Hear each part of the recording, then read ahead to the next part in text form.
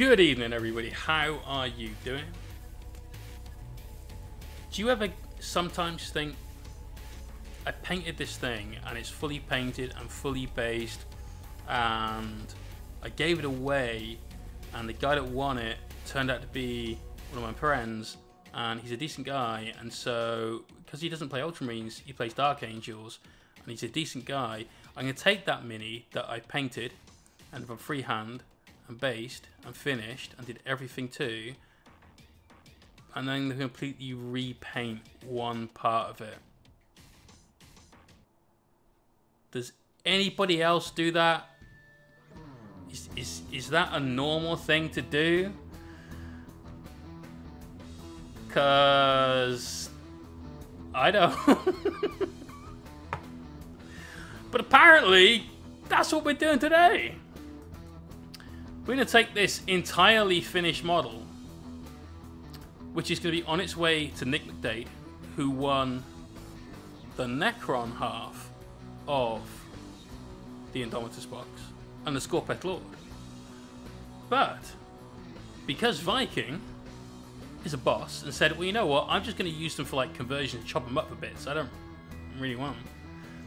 He agreed that he'd take the Necron mini that we painted so Nick could have this guy for his Dark Angels army. And the only problem there is that. That, that right there. That. This bit. So. There may be an involuntary twitch from time to time during this episode. So, we're, we're going to take this painted mini is finished, perfect, and then put some green paint on it. And uh, so here's here's the first thing we're gonna do, and this is going to shock and appall every every single one of you and me. I, I will also be shocked and appalled. We're we're we're we're gonna remove his backpack. Uh, and we're just gonna deal with whatever fallout happens of removing his backpack after we've removed it. So there we go. Kasnap. Judo chalk. To be fair, we could have done the whole like uh, Bloodsport thing on that and dealt with it that way, but some standards must be maintained. Let's put the backpack somewhere we can't lose it, like over there on the keyboard. It's on the keyboard. There we go. There we go. So, ordinarily you wouldn't do any of what we are about to do. You'd have done this beforehand, but instead, stuff and things. Uh, and what we're going to work on tonight is glazing, because see how this shoulder pad goes lovely from this really dark blue up here, all the way up to this nice, nice bright blue through this seamless transition that we did with an airbrush. That we could get away with because none of the shoulder pad trim was painted and it wasn't stuck to the rest of the mini, which has got loads of bits. We don't want to accidentally get green paint on that bit. We're going to glaze it. We do loads of glazes. Loads of glazes. A million glazes. Which means, let me introduce you to my best friend today, which is Mr. Hairdryer. Now, Mr. Hairdryer is something that's going to get used a lot to help speed up the process of creating those perfect blends. Now, despite the, the fun side of what we're doing, the fact that we're going to potentially ruin this miniature just so that I can paint it differently for a friend of mine, this is actually a really good stream because a lot of you ask me, how do I glaze? What's a glaze? Like, really, what, what, what am I doing? Is it how thin does my paint need to be? What's the, the technique for doing it? I don't have an airbrush. I can't afford one. I can't fit one in my uh, painting studio you know, I have nowhere that's not like a family area or something to paint in. Those sorts of things. And so you have this. And this is it. This is your weapon that we're going to use to win the Glazing War. So, good evening to the chat. First off, we've got Commissar Bob, Berry Boy, That Son, Crooked Grin, Viking, Odin's Wolf, Mr. Brutal, Farcias, Wooden Spoon, Jerry Drop Dead. Hey, hey, hey, how you doing, man? Hope you've been thinking about what you're going to use that uh, three-hour painting lesson on. Then we've got Mini Zerka as well, right there at the end. So when you're glazing, you absolutely have to have a game plan, right? You need to know where you're starting and where you're stopping and what your transitions in between are going to be. Uh, and sometimes, and this is what we're going to do this evening, your start point is going to be in the middle. So instead of starting at the darkest shade and working up to the lightest shade, or painting the darkest shade and then glazing the lightest shade over and over and over and over and over and over and over and over and over again to go from lightest to darkest with one color. We're going to start in the middle of this process with our mid-tone. We're going to glaze that down. We're going to glaze that up. So we're going to go from that, that like center band. Then we're going to put our shadows and our highlights in on top of that. So to prepare ourselves for this, we've got four paints. We've got some black. Any old black. This is Thamar Black from P3 because I prefer it to Abaddon Black. It's less shiny. It's got less of that satin thing going on, which means that for a glaze where let's segue ever so slightly. Normally, I just tell people grab black, grab green, get a, a, green and a yellow mix, or you know whatever. Use light blue, dark blue, just a rough descriptor of the paint, because 99% of the time it doesn't fucking matter what you're using. Paint is paint. This is that 1%. This is where this is actually important. When you are creating a blend on a miniature, and we're going through this spectrum here, right? If this paint is quite glossy, and this paint's quite matte, and then these two are somewhat satin, what you'll have is shiny shadows, a flat mid-tone, and a slightly shiny sort of extreme either side of that. And that's not going to look right. Now you can save that after the fact by using some matte varnish to give everything one tone all over. But here's the thing, right? Seal this on here, these little grass tufts that we put on? If you spray that with a matte varnish, it looks really weird. You have to do all your varnishing before any of that happens.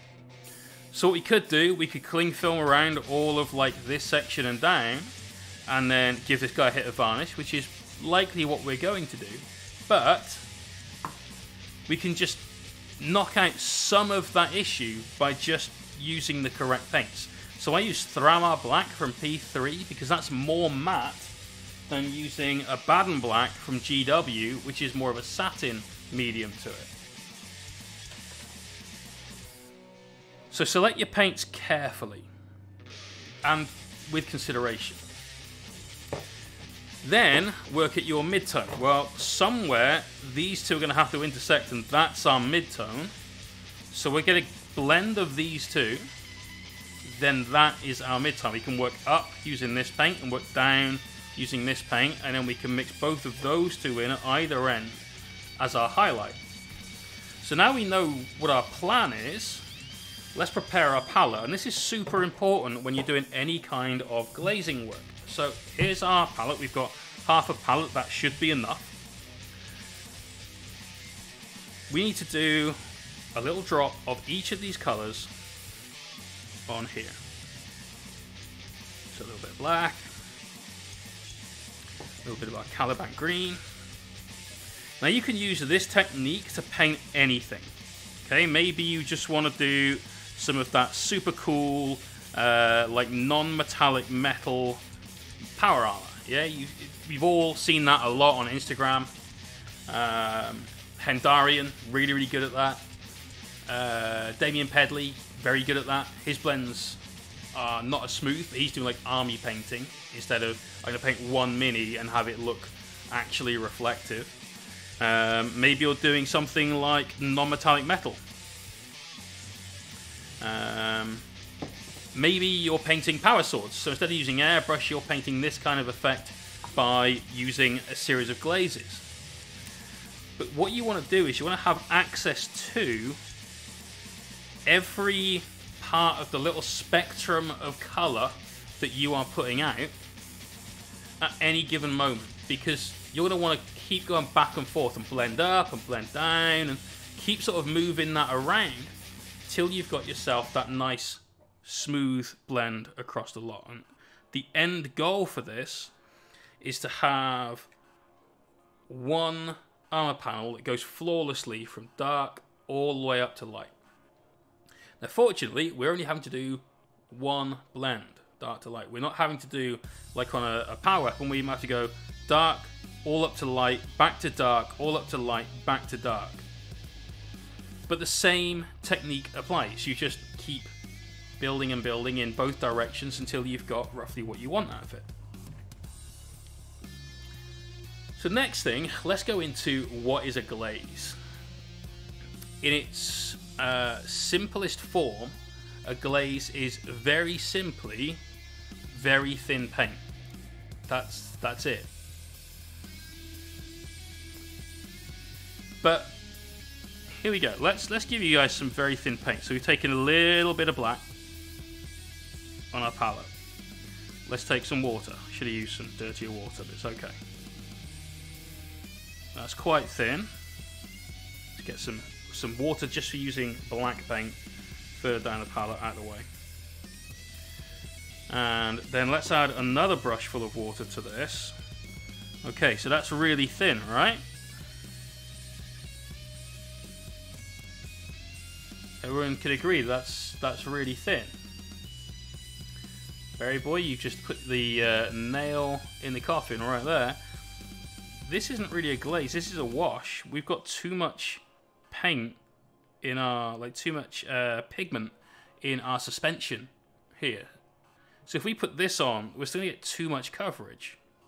So what you then do is you take from here, go further down the palette, and then you add more water. And you want to get to a state where you can move essentially the entire thing around kind of as one. Alright, see how the whole thing's being dragged about by the brush? That kind of consistency. That's kind of what you're looking for. That's now a glaze. So if we were to take um, So these are the instructions for the Indomitus stuff. What we'll do, pop these on our desk. Instructions here. I'm probably going to remember that the Skorpekh Lord has two hands that go together like that. We're going to take our first thinned coat of black that we had, and we're just going to put that over one of these. And then we're going to wash our brush out I'm going to take some of this. And notice how that brush tip, still nice, perfect point. I'm going to put that over this. You see the difference between those two?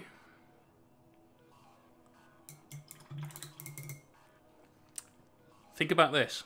Every time you take a wash and you slap it all over like an entire miniature, that's how much effect that's having on the Mini. Now I know we're on a flat surface and it's semi-porous because it's it's paper, and so it's a more pronounced effect.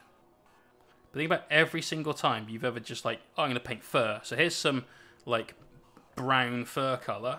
Here's a brown wash. That's that's kind of what you've done right here. Glazing this. Now, one other thing to notice. Look on here how we've got these big coffee stain sort of watermarks. This is what happens with a glaze if you're not careful and you don't move it around the correct way. So glazing, as a very simple explanation, is take really thin paint and move it around on your miniature. But you can see how there's nuance to that out of what we've just done. All right, every part of the uh, the process you need to be careful with because if you're not, you're not glazing, you're just painting with really thin paint. And at that stage, you're just doing it wrong. Oh, Bruce, just that host. Good evening to you too. So the next question is going to be, Jay, what the fuck are you doing? Why are you taking paint from here and then thinning it into there and then think why don't you just take less paint and put more water that is a damn good question when you're glazing and I use predominantly water for all of my uh, sort of wetting down of paint uh, it's cheap. It comes out of the tap on a readily available basis if you live somewhere in the first world. And it means that I'm not constantly buying things like glaze medium. Uh, I'm not constantly having to buy additional products basically to manufacture glazes with. But the difference between water and glaze medium is its evaporation point. We talk about this quite often when we're talking about things like uh, flow improver versus uh, airbrush thinners. We use flow improver because flow improver contains a drying retarder, and we use thinner because it contains alcohol, and one of those speeds up the drying time, that's the alcohol. The other one slows down the drying time that's the flow improver, the drying retarder. Water sits, despite the fact that it's alcohol free, such as life, shame. Uh, water sits somewhere between the two camps, right? Um, it will speed up your drying time because it has a lower evaporation point than medium so things like your flow improver. There's a higher evaporation point than things like thinner. But unfortunately it's skewed closer to thinner than medium. So this will dry out because of how wet this is. This will dry out faster than this. And that makes fuck all sense, let's be honest. But the water in this is already starting to evaporate. Yeah? Not quickly, just gently. Whereas the medium in this takes longer to evaporate. And therefore, this will stay wet longer than this. So this second row that we've got here, which is much less wet than our glazes, but a little bit more wet from here, this is our refill to the glaze, right? So each one of these glazes, when we start to run out or when they start to dry out a little bit, we take from here, add water, and we remix our glaze till we're happy with it, and then we go back and forth.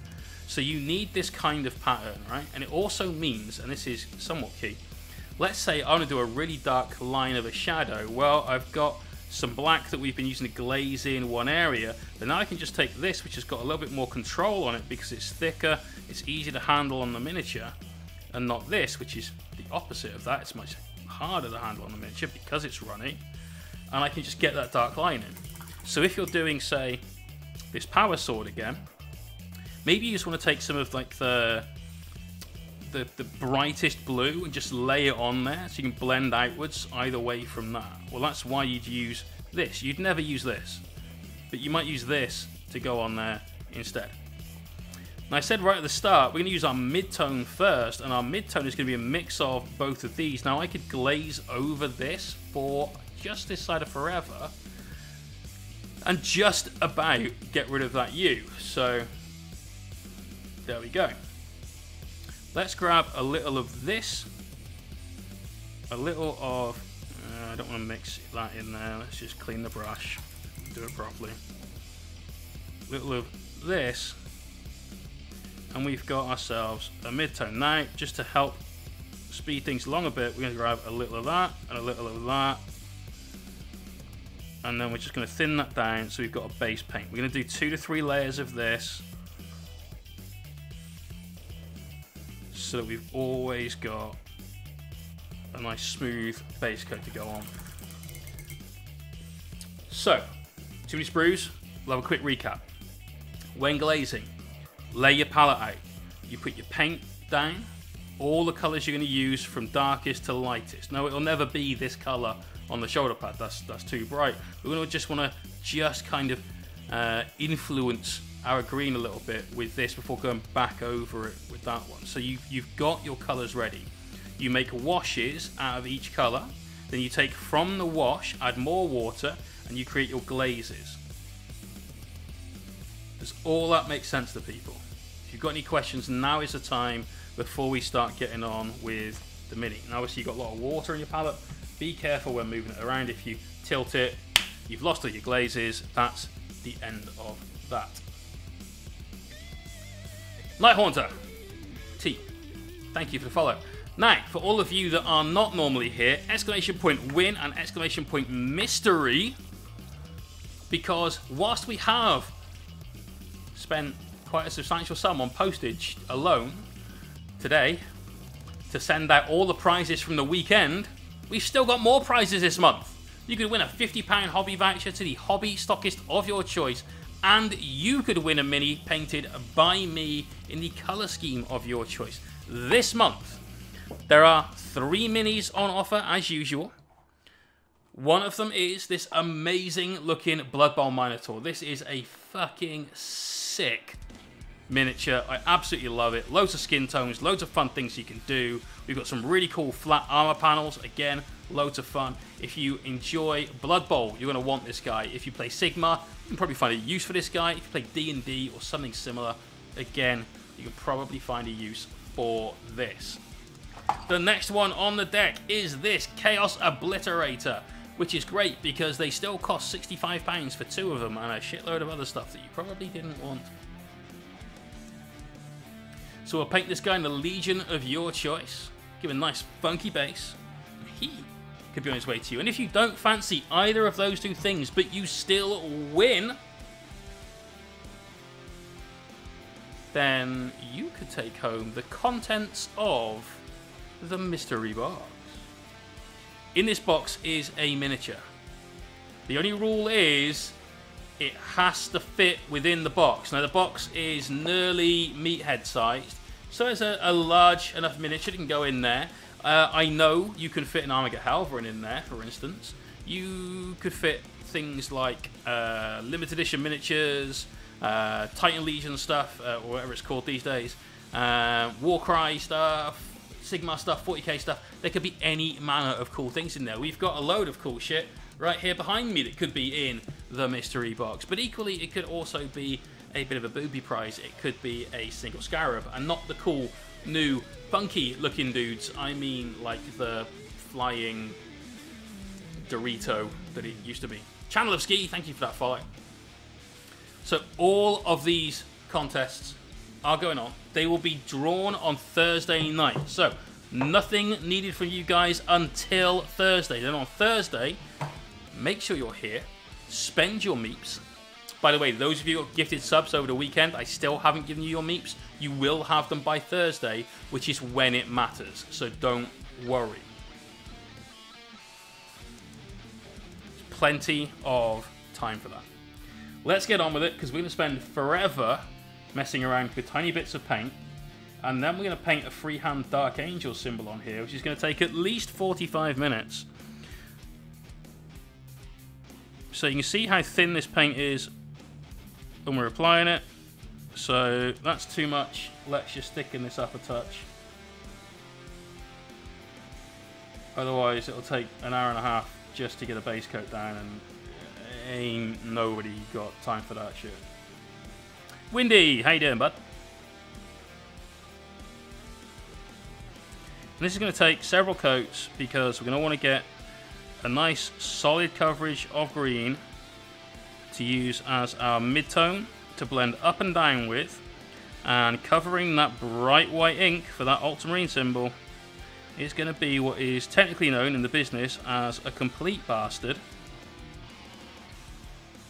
which is right now how I feel about my friend Nick. So now we've got an Alpha Marine, perhaps. Little turquoise. I'm doing good, dude. Oh, holy shit.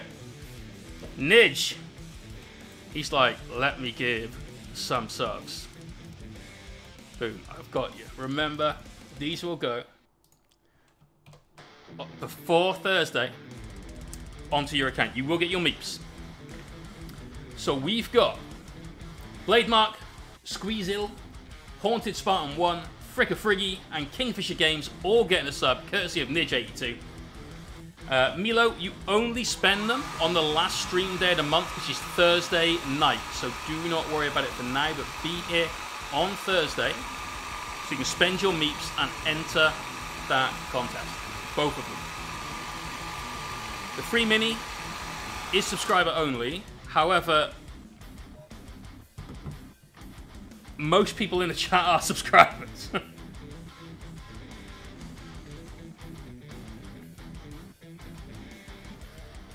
we go.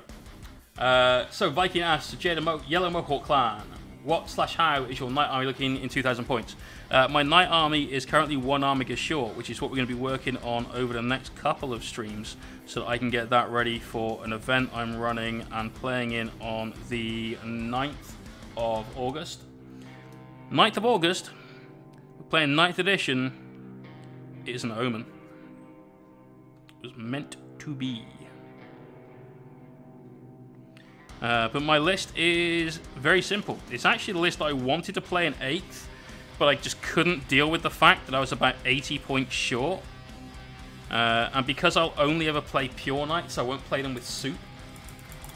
Um, I just couldn't reconcile that in my head, but I always thought it was the best list that you could possibly run as a Knight player. And that was three Knight Crusaders and three Helverins. And now they've changed the points. My previous 2,000 point list, which is... Uh, sorry, which was, rather, I should say. Uh, it was three Knight Crusaders, a Paladin with the uh, Icarus guns, and two, sorry, and one Helverin is now changed to that list. Always play House Crest. Always play House Krast. Because it means your Gunboat Knights, those Crusaders, which are the best unit in the Codex, are both good at range and in melee. Never, ever, ever take melee knights because they're just no good. Oh, Blade Mark! Continuing his gifts up.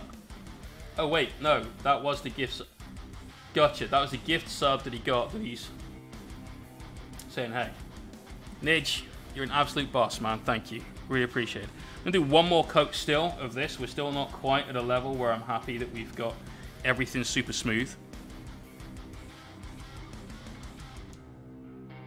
So this is the fourth coat, just to cover over our ultramarine symbol and that beautiful blue that we had.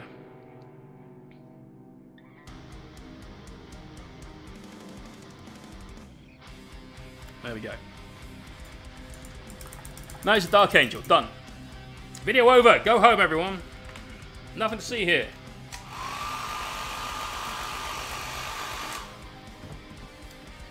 Boom. To be fair, he already looks better.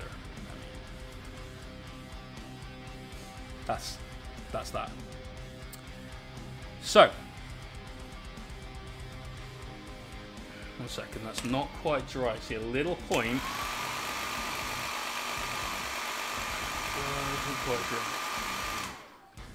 Glazes is usually all about patience. It just takes a while. So first thing we're going to do is we're going to blend in our shadows. Because it's easier. I got, I got nothing on that. It's just, this is easier. The very first thing I'm going to do, though, is going to take some of our black glaze, which will not be the uh, the transition color on this, and we're just going to put in a little marker for where we want our shadow to be. This is uh, like a sketch. Now I'm using the glaze rather than the wash for this because I just want to see what it looks like first.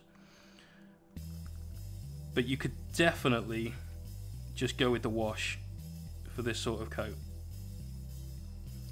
And something to notice is that we are always going to be moving the brush in a direction that we want the blend to go. So from the point of lowest impact on the miniature to the point of greatest impact on the miniature. We talked about that a lot at the weekend. Is this value sketching? Yes, but sort of no.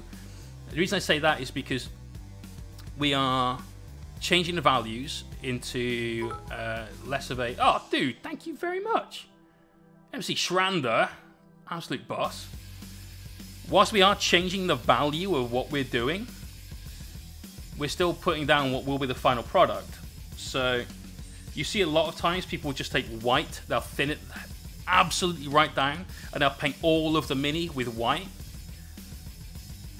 You wish I had a pack. Uh, to be honest, mate, you've seen it. It's going to look exactly like this for the rest of the stream until we get to the painting just white, and then it will be thrown away and we'll start a new one. Um,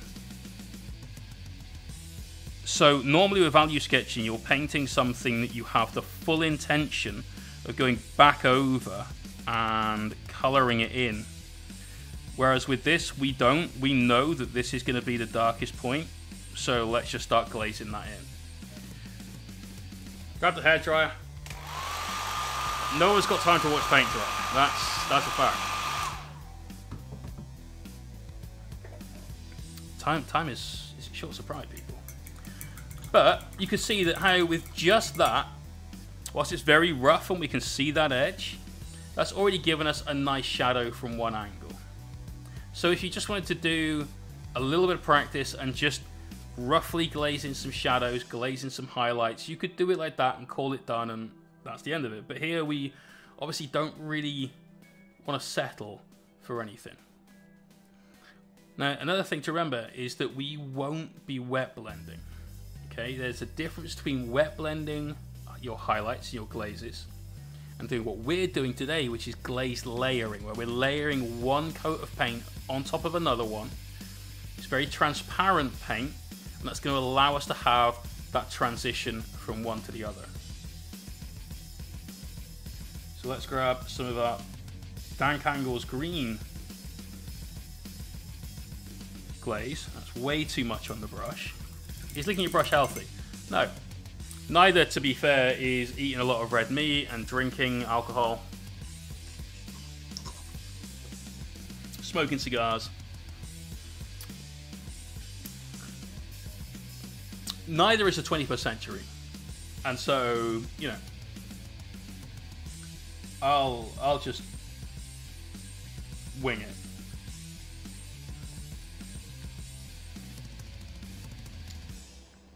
broccoli's healthy. There you go. I ate broccoli for dinner. I eat broccoli a lot. I like broccoli.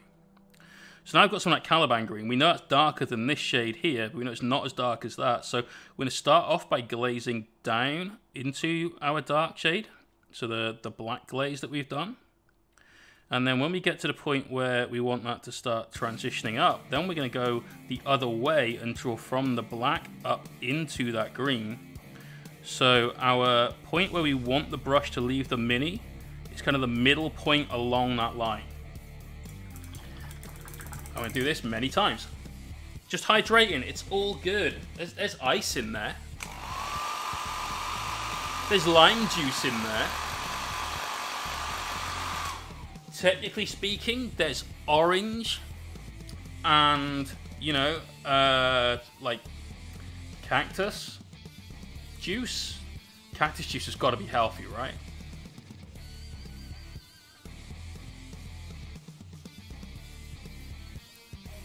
Lime juice. From We're painting green.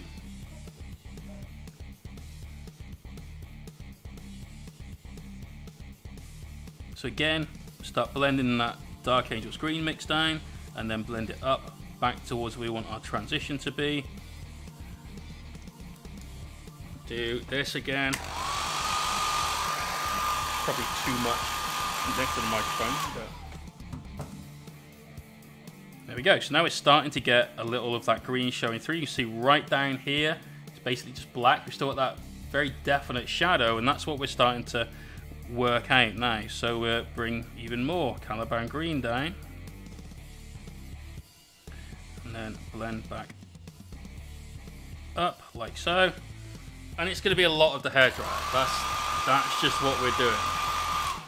Because otherwise all, all that really happens is you sit here going, oh, it's not dry yet. It's still not quite dry.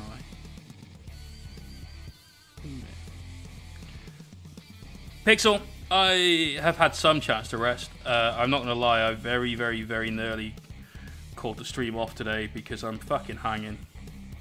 I went from painting all weekend, which is exhausting. Uh, I, I love it. I, I enjoy it. I love the weekend streams that we do. They're great. But you've got to be like on for the weekend. Uh, which means you can't sit there and just like veg out. You've got to be full energy all the time. And I, like me in real life and me here on the stream, is only different in the way that I tell worse jokes off stream.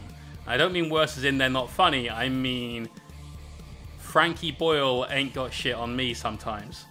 And so I can't say things like that on stream because whilst they may be funny, they're also things that probably shouldn't ever be said.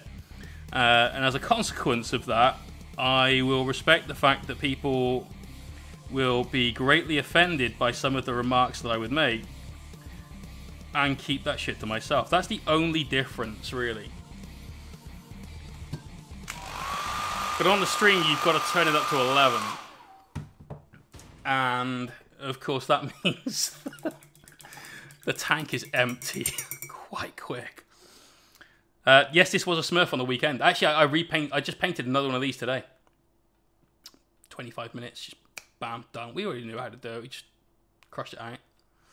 Um, don't go back to start the video and fact check that because you would be unsurprised. Uh, but now look, we're starting to get some of that line disappear. We've got black right down here, and we've got some dark green here, and it goes to light green here. And from a distance, it looks fairly natural. It's only when you get really close in that you can see, yeah, you've still got like a, a bruise almost. It's just like a blemish. It's too, too stark of a line. So what we're going to do now is going to start taking our mid-tone and trying to glaze out that there. Nothing pinch you apart from boy bands. Is Blink 182 a boy band? Is Rancid a boy band? Sex Pistols, they're a boy band, right? So this is the, um, what do they call it? Warpstone Glow. I'm going to take that from above our midpoint and blend down. And then from here and blend up. See those little dots of paint that we're leaving? We need to get those right in the middle of this line. That's that thick point of paint we keep talking about when you're glazing. In fact, you can definitely see them on camera right there. Little bastards, every one of them.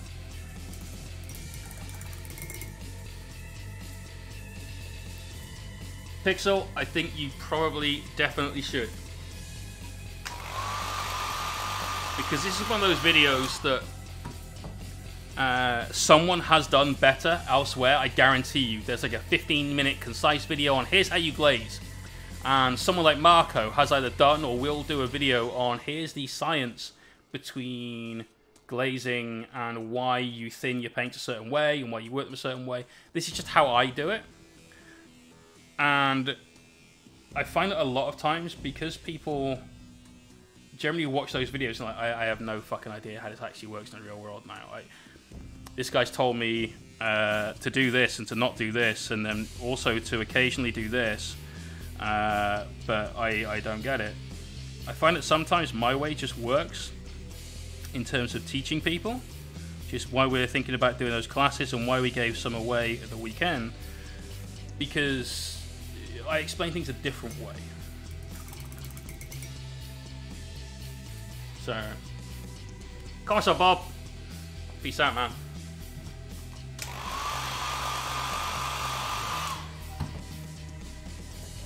And then we keep going on with this. Now we're going to actually start glazing this all the way down from the top, I think.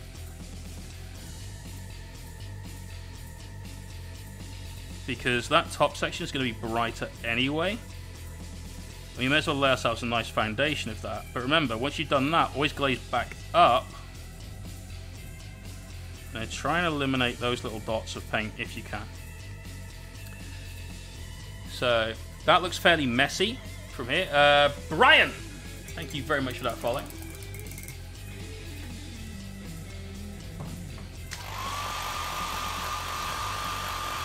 I really shouldn't be using a hairdryer right next to my trying to stay cold drink. So let me move this delicious uh, lime juice based drink over there. So you can see brushstrokes. Yeah, you can see see all these little dots here where they've kind of left uh, that little watermark on the mini. We need to still smooth those out. Uh, one of the only ways of doing that is by putting a very, very, very small amount of paint on the brush so that you minimize those and going back and forth with your glazing. So we're going to call that the last coat of our Warpstone Glow for a while. Because what we're going to do now is we're going to re-glaze in some of our darker green to help that blend move up.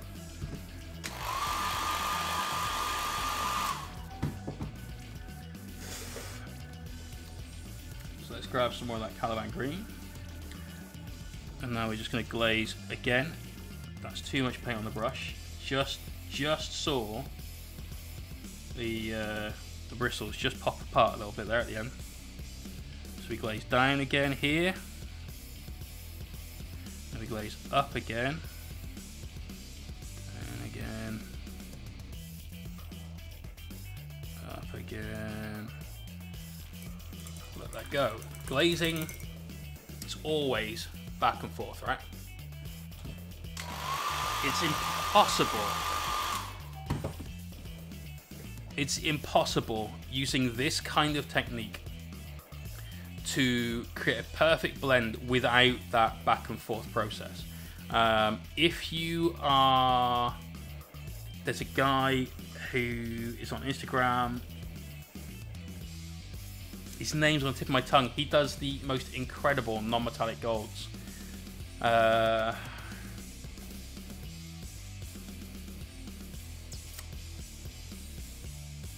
no, I'll, I'll get it. it. it. will come to my head.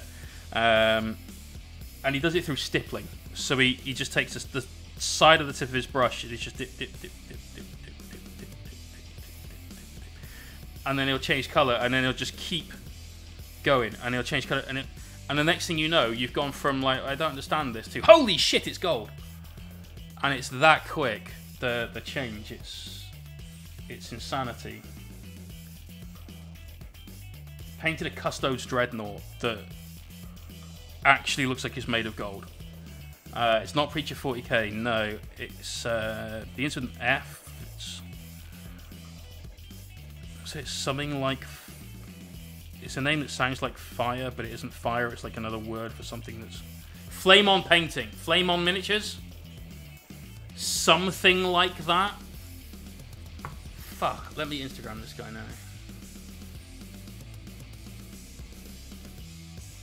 But he's, he doesn't use glazes. Uh, he's using glazes, but he's stippling with them. Flame on miniatures. Please be this guy. Yeah. Yeah, yeah, yeah. Check this out.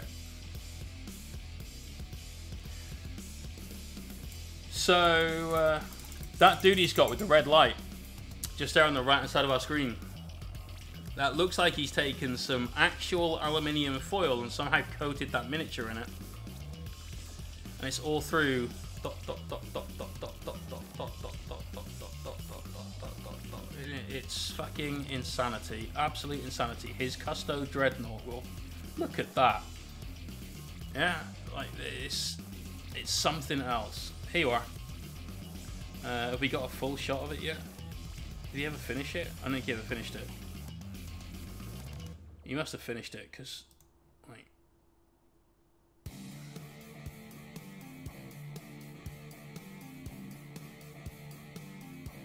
Hobby boner. Right there. Fucking insanity. Fucking insanity. That's all non-metallic metal. Not a single drop of true metallics anywhere on that. Right, so now we start glazing in that lower color, that darker green again, to bring back this transition point. How do I pronounce that without just saying the word shit?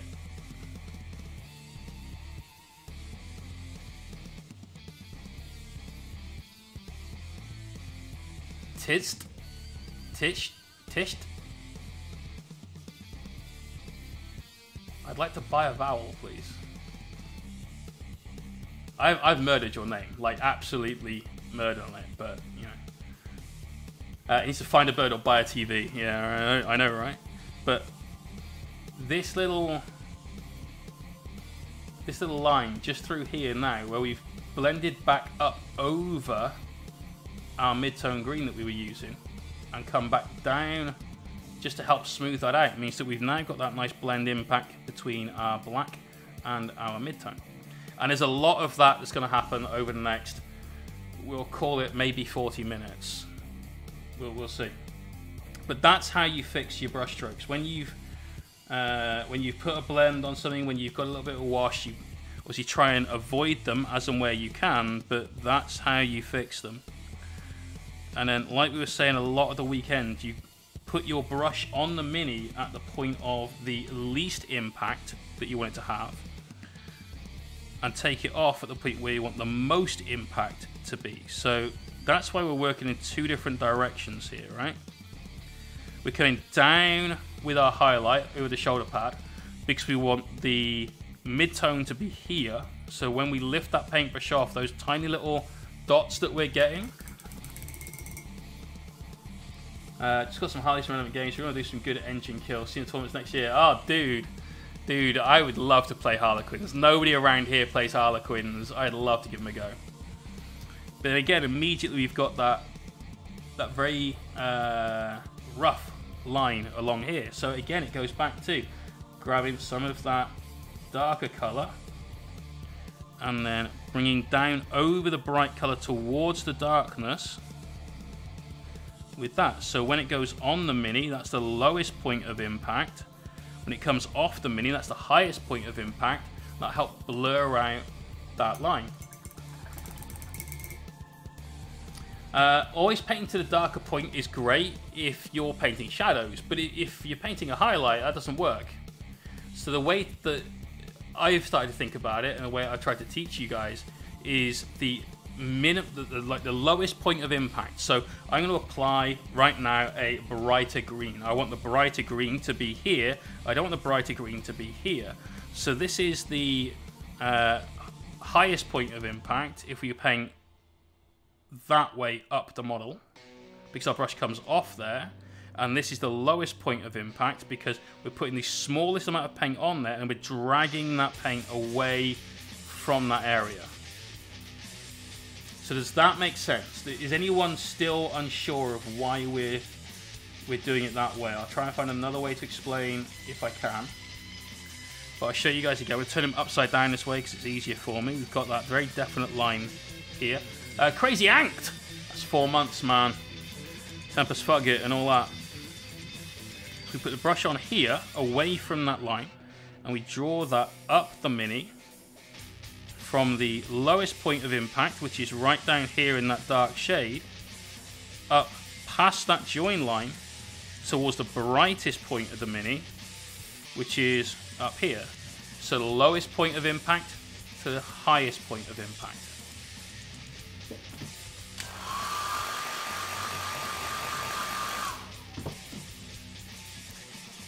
And the next time anyone says, "Oh, why do you, why did you use an airbrush? Why didn't you just use a brush like a normal painter?" Like, I don't understand it. Why, why would you airbrush, bro? I'm gonna link this video to them and say, "Well, at the weekend I did this in three minutes with an airbrush. We're 50 minutes into a video now. Paint the shoulder pad. Right, let's go wild. Let's get some of that Necrotite green. Let's go for our super brightest point, and then we can work out where we need to get our blend to. You don't necessarily paint over all the green. You can do, but you don't need to. So here we're going to paint from about here upwards. This is our Necrotite green. That's that super bright yellowy green. Bring that all the way up. Collect those little dots if we can. Dry that, and then we'll keep going with that for a few minutes until we get something that we are happy with for our brightest shade of green. And notice how we're being kind of rough with it down here. We don't know where we want our point of blend to be yet. So let's just see what happens. Maladeus! How's it going, brother? You need to practice your airbrush? Yeah, definitely just airbrush this shit. It'll save you about 100 years. Three coats of glaze down.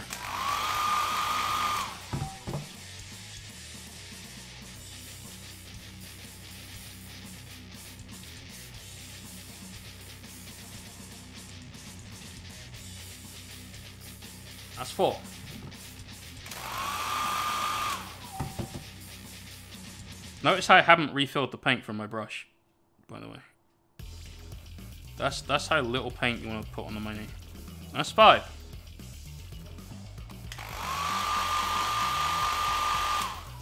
That's, that's awesome. Just make sure that you both, I sincerely mean this, you both take care of it and both clean it. Otherwise it's like,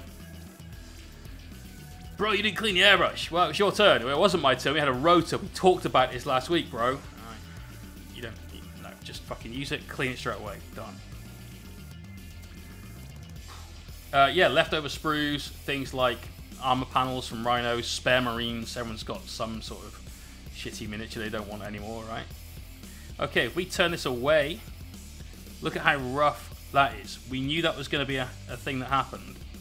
Is this the right color yet? Mm, it's getting there. It's kind of as bright as we want it, but it's a little bit rough itself. So let's just smooth that out now. So just take a little bit more paint. And this little area here, this is what we want to be hitting with our glazes right now. So we'll bring our little droplets to water. We'll try and collect them in this top corner. And let them sit on there, because that's our brightest point.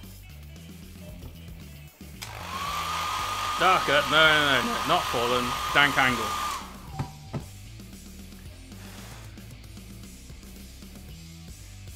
So we just try and smooth out that one area. Fucking Duncan Rhodes with his two thin coats. Bug. I will raise you 2,000 thin coats. That's that's where we're at.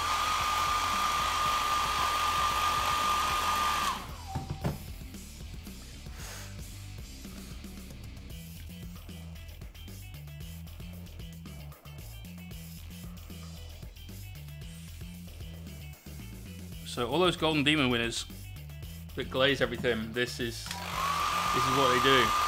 Hey Sarah, how's it going? Cats! Yeah, 2,000 thin coats. That's that's how you glaze.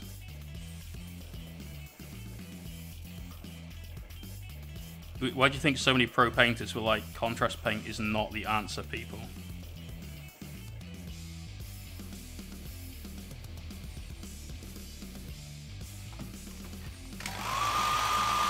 It's not smooth. It's not smooth. Look, look at it. Really, really look at it. Got this big fucking lump here. This big hole where it's not smooth. We've got that definite line in there because we haven't smoothed out that into our midtone yet. Fine for tabletop. Bro, paint it green. Stick a transfer on. That's fine for tabletop. Uh, for some reason, that's not what we're doing here.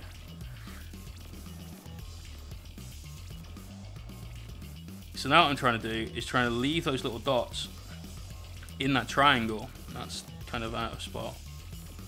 Uh, little green spot out of spot.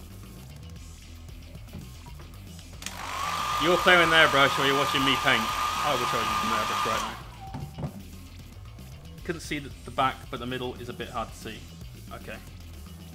You see it there, where you've got that green that immediately just comes in with no like introduction. It's just like bam, it's there. Excited to see if instant paints are any better. Instant paint.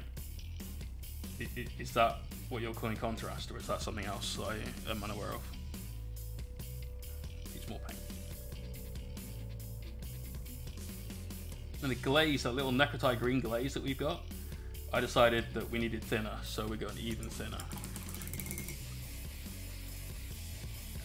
Scale instant paint. Oh, yeah, yeah, yeah, yeah. I have heard about these. I um, am interested to try it, but I still reserve the sort of like mm, that I have for all contrast paint. Hey, Ringsting! He's getting a sub going on.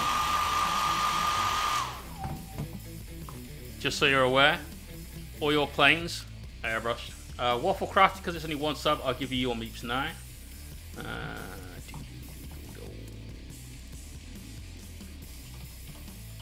Wafflecraft. There you go. Bam, you're in, man. 3k for two.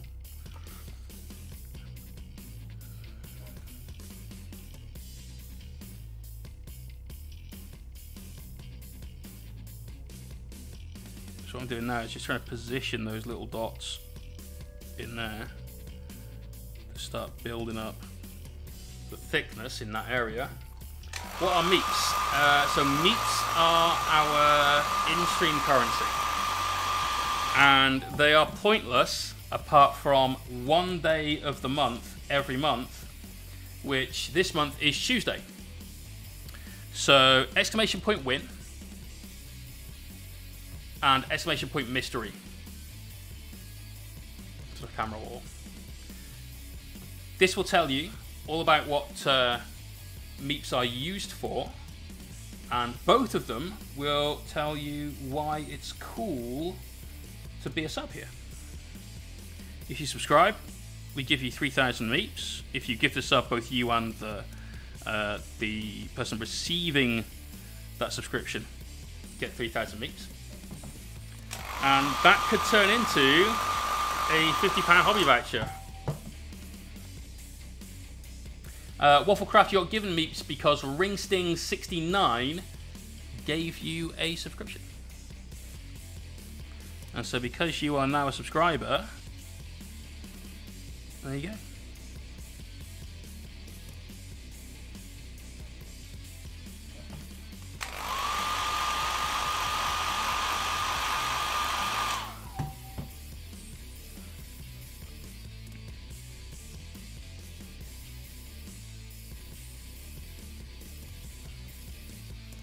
And you can see how repetitive this is.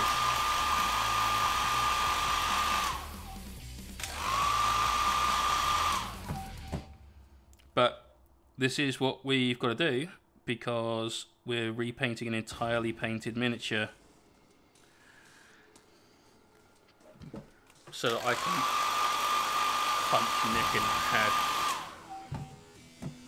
That's that's it. that's that's all we got.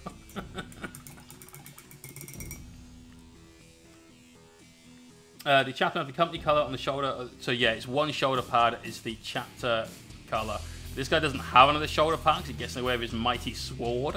Um, apparently, is the the rules behind that. But yeah, they get one color, one colored shoulder pad, and that's now you're a Dark Angel. Now you're a, a Space Wolf. Sarah, you should definitely enter the giveaways because a you need some more hobby supplies, and two, you could do with some more painted minis to just sort of put in your rival crafts uh, display.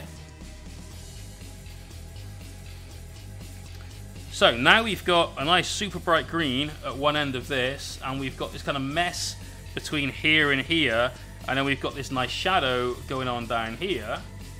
So what we need to do now is take this green and move it into this area. And the way to do that is to go back to our Warpstone Glow. And we need to work the other way now. So now we're pulling down away from the green, lowest impact to highest impact. So the brush goes this way now.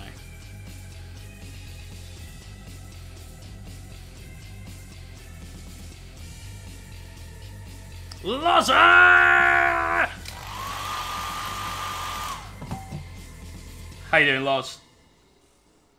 We are painting green and we're glazing by hand and not using an airbrush for once. This will be an airbrush-free stream. I can't allow it to happen. Just wave it around a bit. There you go. So magic has happened and now the blend. That's how airbrushing works, right? According to everyone that's never used one. Uh, I'm doing good. Uh, jumping the gun, I know, but how would you make the insignia fit with the glazing? Well, you're painting bright white over this, uh, and so all you've got to do, and unfortunately, I actually mean this, but all you've got to do is not fuck up at all once ever in the process of doing that freehand, which is unlikely.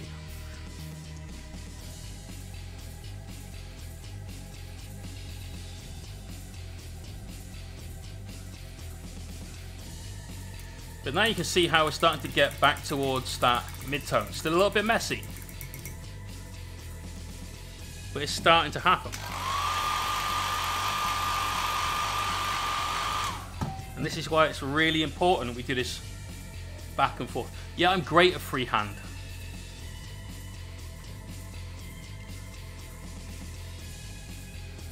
And, you know, we're just painting something super simple.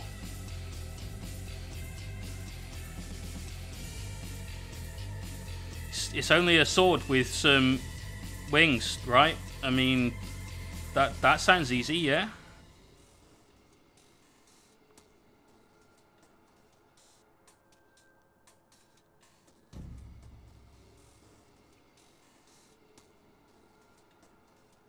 Nick, if you're watching and you're on your bike, then keep pedaling because you're going to need to be really, really fit to get away from the anger I have at you right now. Uh, yes, I totally agree. It would be better to use a transfer. Games Workshop produces some amazing decals, and you could just use those. But I'm trying to get better at my freehand. And if you go back to the start of the video and you see that beautiful ultramarine symbol we had on here, it's getting there. It's not amazing by any stretch of imagination, but it's getting there. It needs work. But we say this almost every stream. Every single time you use your brush or your airbrush or your basing materials or whatever else it is you're doing involving your toy soldiers and some art style things, you are giving yourself an opportunity to learn every brushstroke. Try and make as perfect as possible. Uh, give you a fish to count yourself lucky. Yeah, fuck that. I ain't doing that again. That was bad. Uh, no, I need to that again because that was bad and we need to improve. Um, but every single time you put paint on a miniature, you are giving yourself the facility to be better than you were the day before. And that's a great thing. So let's keep going. Mino Splat, it's not to happen, dude. Don't don't come here with this negative, negative Nelly bullshit. All right, it's not going to happen. We're not going to mess up. We're going to be completely flawless, and we'll do it blindfolded too if you need. Um, that's not happening. Disclaimer: uh, that was a lie.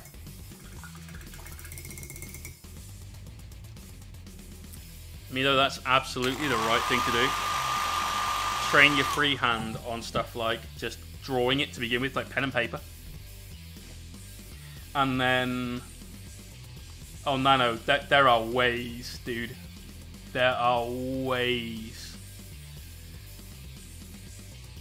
But all you've got to do is keep tracing that shoulder If I've got a brightest green now. I'm going to go back the other way. We glaze over our mid-tone, up the mini. Uh,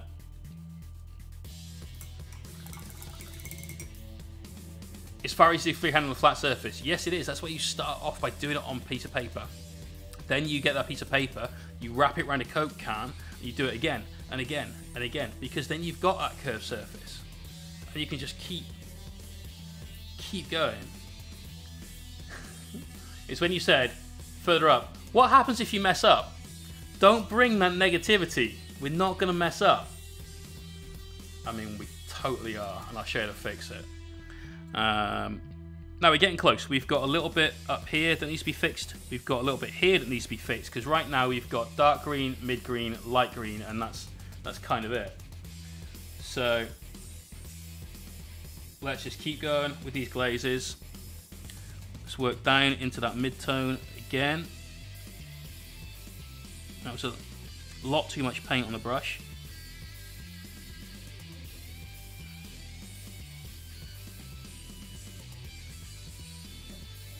And then you just keep doing that. I know, mate. I know. I'm taking a piss. Sorry if the humour sometimes doesn't translate, but, you know. This is my way.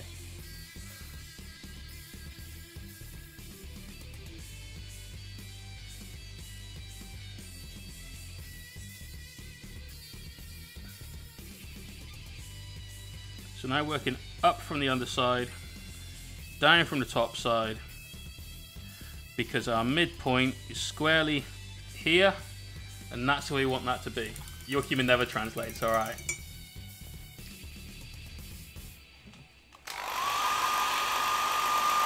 Oh, this this is not Vikings. But Viking was an absolute boss and said, you know what? Nick paints marine. Nick plays Marines. I only want the Marines for like conversions and stuff. So why don't you let Nick have this and I'll take the Necron? I'm paraphrasing quite gigantically, but it was somewhere close to that. Uh, now that's relatively passable. A little bit bright still here at the top. We're going to glaze that down a little bit further. And we're just going to glaze our shadows in a little bit. But you see how that's starting to get to that stage where you could be happy with that. But it's not perfect. Uh, Zia, what's the best way to pronounce your name? Can you phonetically type that out for me? Because I am dyslexic and I find that tricky, that first bit. Uh, Nurzadeh um, says, serious question, would you try and glaze the insignia? Like move from a brighter white on the upper end of the pauldron and then transition to a less bright white along the bottom? Zaya, thank you. Uh, Zaya is what we'll, we'll call you for now, if that's okay. Uh, so you mean go from like white to grey? You can definitely. I'm not because it's going to take long enough anyway. Uh, well, fuck it. We might. We might. We might. Let's just do it. Let's just do it. So, let's continue on with our glazes. And again, it's a case of move down towards that midpoint. Just want to darken up a little of the top part of this shoulder pad. Just a touch.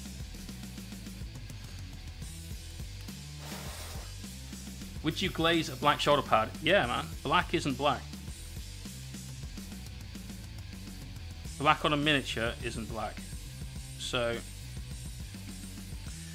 this guy's got black armor. True or false?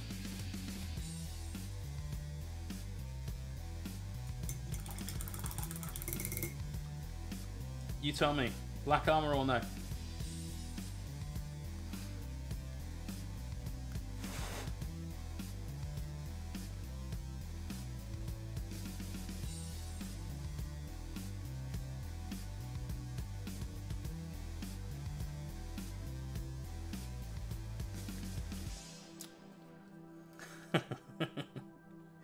Uh, so we've got It is a trick question. You're absolutely right. We've got lots of yeses.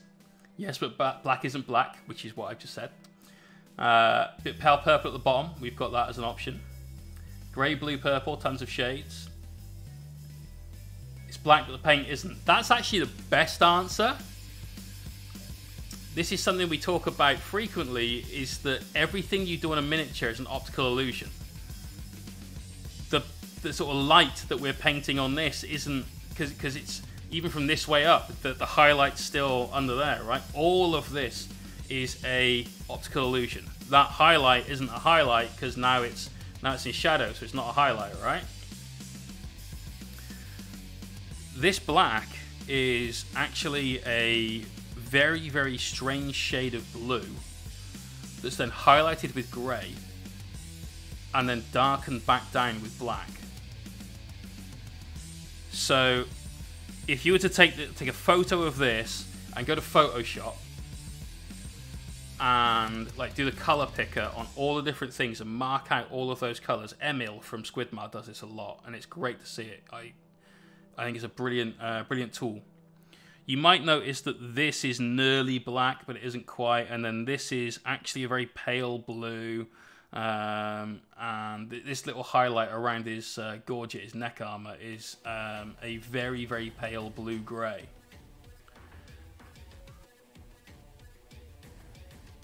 But overall, it looks like black. But it isn't black.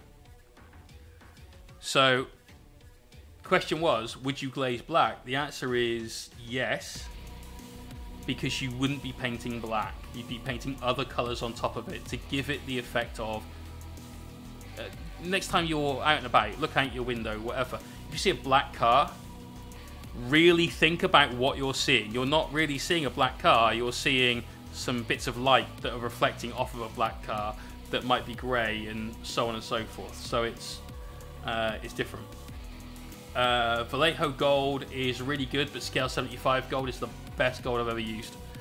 I haven't tried the Vallejo Mecca uh, line yet, though, not so much. So that uh, remains an unknown to me.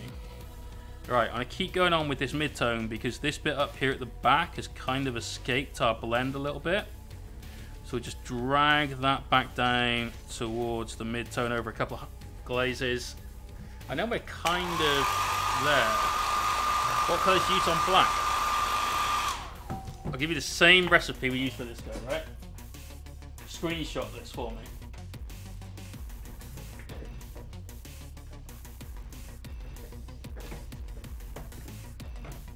We start with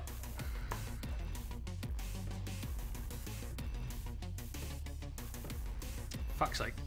Start with Tyre Black from Secret Weapon. Bogrin Brown from P3. Administratum Grey from Citadel.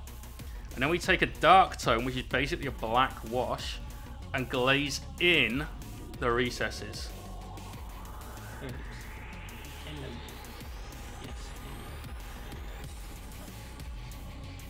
That's how you paint black. Or at least that's how I paint black. Uh, and we'll probably be doing how to paint black actually on Thursday stream because I'm going to do the armor panels for my Knight Helverin that I need to paint on Thursday stream. And that'll be black. We'll be painting black, it'll be painting yellow, it'll be painting hazard stripes, it'll be all manner of fun, cool, awesome shit that I love. So, that's a reasonably passable blend all the way through until we get to here, where it's just a little bit too abrupt for me coming into the shadows here. Uh, Viking, peace out. Oh, before you go, dude, I posted all your stuff today. Call it a week to get to Denmark currently, I guess. I have no idea. So let's grab a tiny amount of that Dark Angels Green. And bring this down to help feather out that joint. We've got the tiniest moth in the world in here. It's like 5 mil long, that's crazy. Say Brogan Rank. No, I probably did, but I meant to say Gravedigger Denim. we went from doing the weekends worth of streams to going back to my day job, which, regardless of what some people may think, uh, you need to be quite intelligent to do. And it taxes you a lot. So uh, try um, scale 75, Viking gold, dwarf gold. I really don't like their elf gold because it's too thin.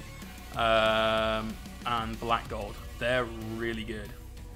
They're really good. Cheers, Des. Keeping me honest. Right. There's still this one bit just here that is annoying me, and I'm going to take the tiniest amount of paint on our brush and just glaze that bit a little more.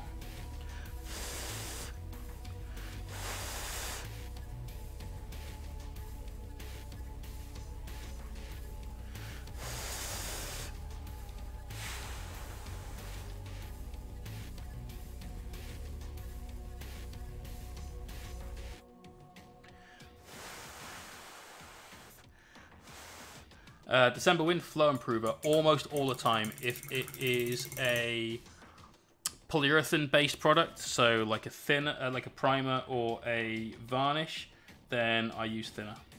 It helps cut through the plastic.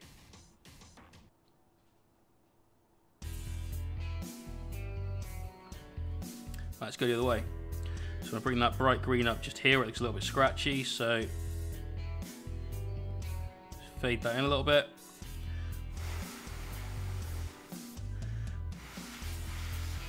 No, no, it completely changes the tone.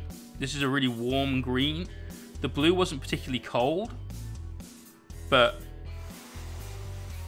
because we had a blue sword, because there's blue elements in the black of his armor and in the hourglass, it, it kind of moves together a little bit. Um, and so as a result, it, this changes the tone dramatically. I can do two brush blending, I don't like doing it.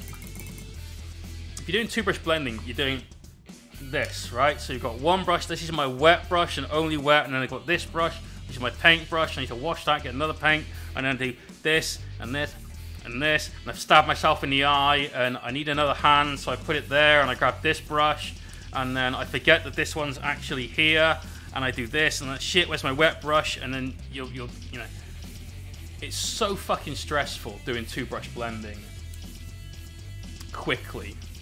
It, it, I hate that. I can do it. We've, we've done the practice, and I decided it's not a technique I enjoy. So, knock it off. Glazing is actually quite relaxing. It's just a case of like, is it perfect yet? No, then keep going. Is it perfect now? Yeah, then stop. And there's this tiny dot right here that's still a little dark. So that one to glaze back up a little bit. Spoken like a man and knows what he's talking about. I've, I've been there, brother. We fought the wars in the trenches of the two brush blending.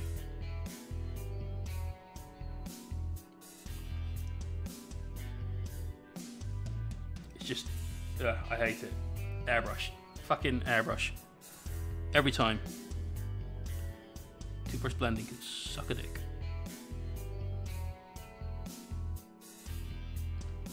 Whereas glazes, super simple.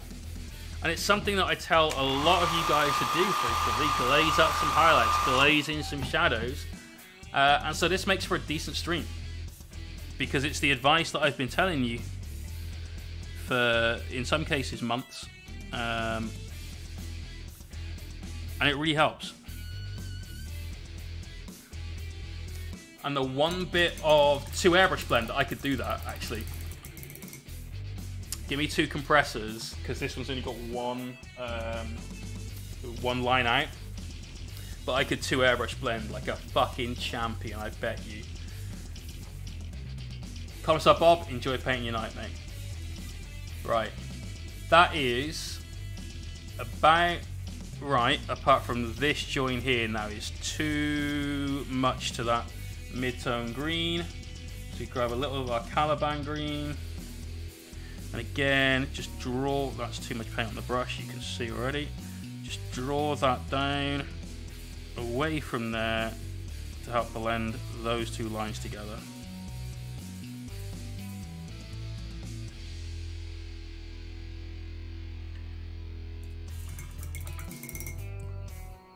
Don't make me laugh while I'm doing highlights on checkers. Well, whose fault is that? I've been there. We, have done all the checkers. We don't need to anymore. Soma Karma, thanks for that follow and welcome. Uh, one left, one, one right. No, no, both in a right hand. I'd use both thumbs. yes, mate. I'd, I'd have to do this. Be like...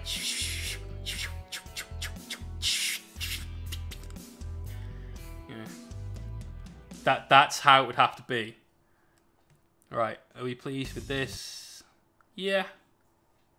Considering we're about to paint, I can't believe I'm fucking doing this. Hmm. Considering we're about to paint that on it, I think it's been pretty okay. So while we're on the subject of glazing, because the last hour is going to be spent me painting that white symbol on that shoulder pad, does anyone have any questions about glazing at this point in time? Now is the time to ask, please. Because past that, it would just be go and watch the VOD.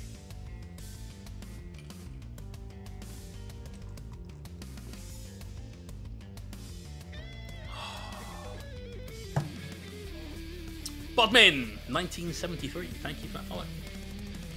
Are some colours easier to glaze with than other.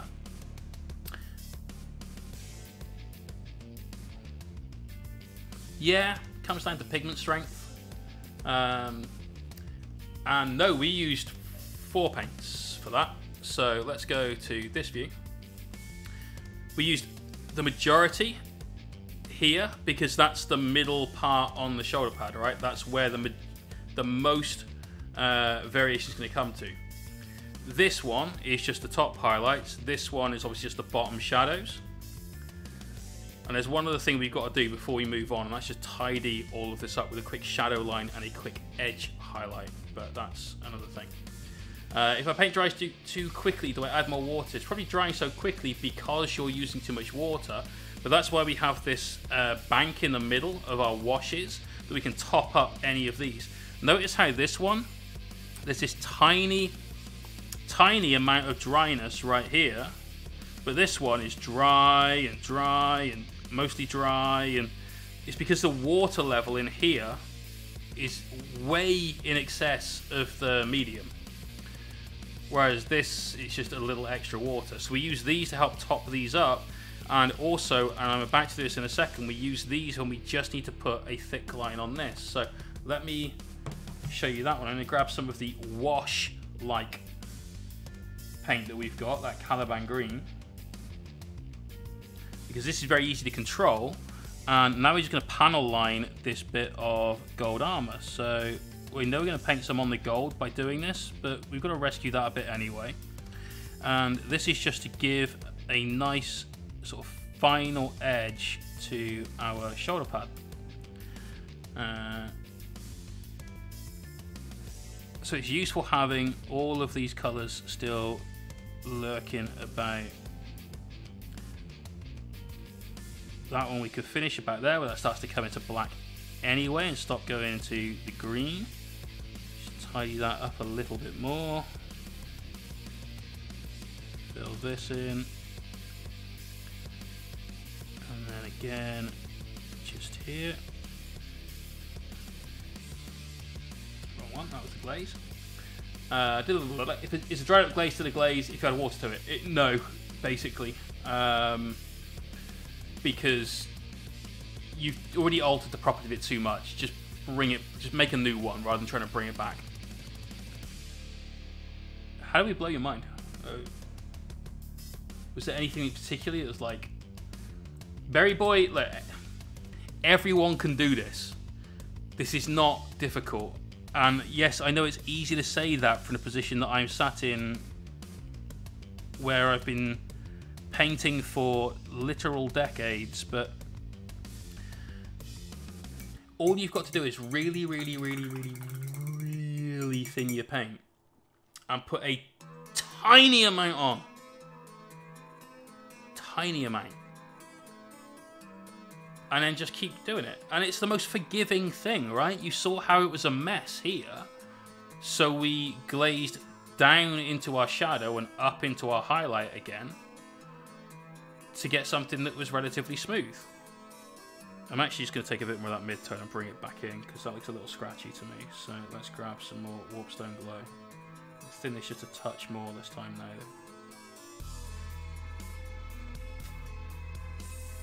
Shadow lines are, are easy. Yeah, oils are good. Um, I use oils a lot, mostly as a way of shading rather than as a way of blending though. Uh, Marco loves using his oils for blends um, because you can wet blend with so much more spare time than uh, using acrylics to, to wet blend with.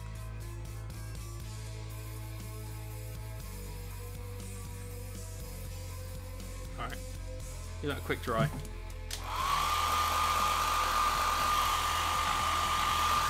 Okay, now earlier on, somebody uh, scale 75, brilliant, brilliant, brilliant metallics. The gold here is um, scale 75. Uh, dwarven gold. Yeah, I'm happy enough with that. We're just going to bring the shadow back up over that ever so slightly to help take out that little watermark, a little bit of a line.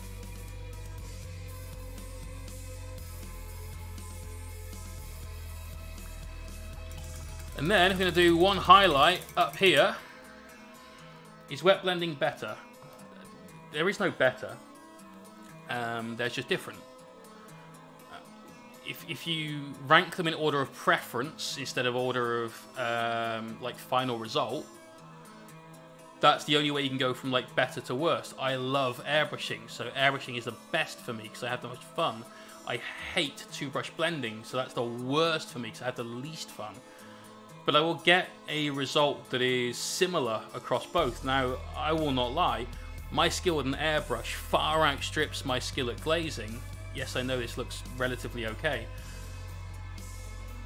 but I spend 10 hours a week airbrushing. I spend maybe 5 minutes a week glazing. That's what, 600 times the amount of time? Uh, I'm just going to take a little mix of the Necrotite Green wash version and the Moot Green wash version and build up a nice little bright highlight we can use that's not super in your face just to finally edge this off with a little edge highlight. Um, yeah, but look, I, I, don't say to try and sound modest. Honestly, this this is not hard, it just takes time, it takes patience and practice. The technique is is the most easy thing. Like you put a tiny amount of paint on your brush and you move it around a little bit. Uh, I joke with Aid Cook, he spends hours and hours and hours pushing water around a miniature. That's basically what glazing is. It's no, there's no secret to it. There's, there's no like you need to sit under a waterfall contemplating the meaning of life for 10 years before touching a brush. Um, there's just wave around some slightly damp paint and hope it looks okay at the end of it. And if it doesn't, just keep doing it until it does. So, is that highlight pronounced enough? No, not really. Let's go a little bit higher. So, even more necrotite. Just a little touch of water in that mix.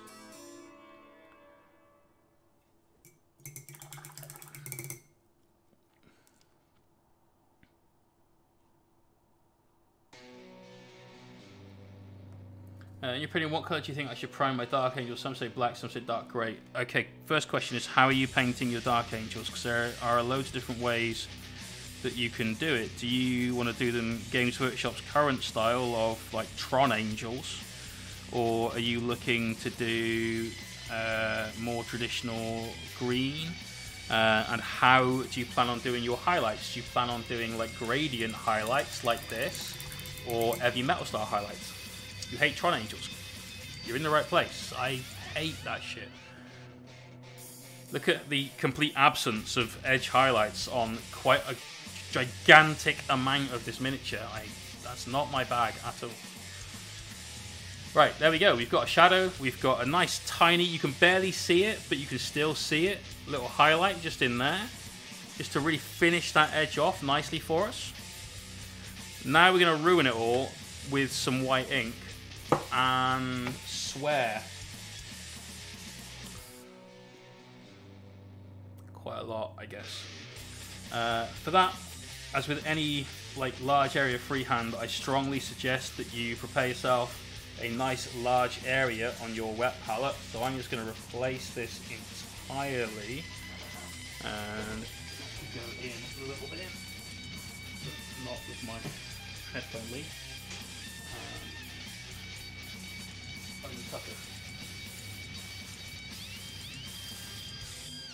I bought some new shelves for this. So I've got these massive paint racks that are like 80 bottles.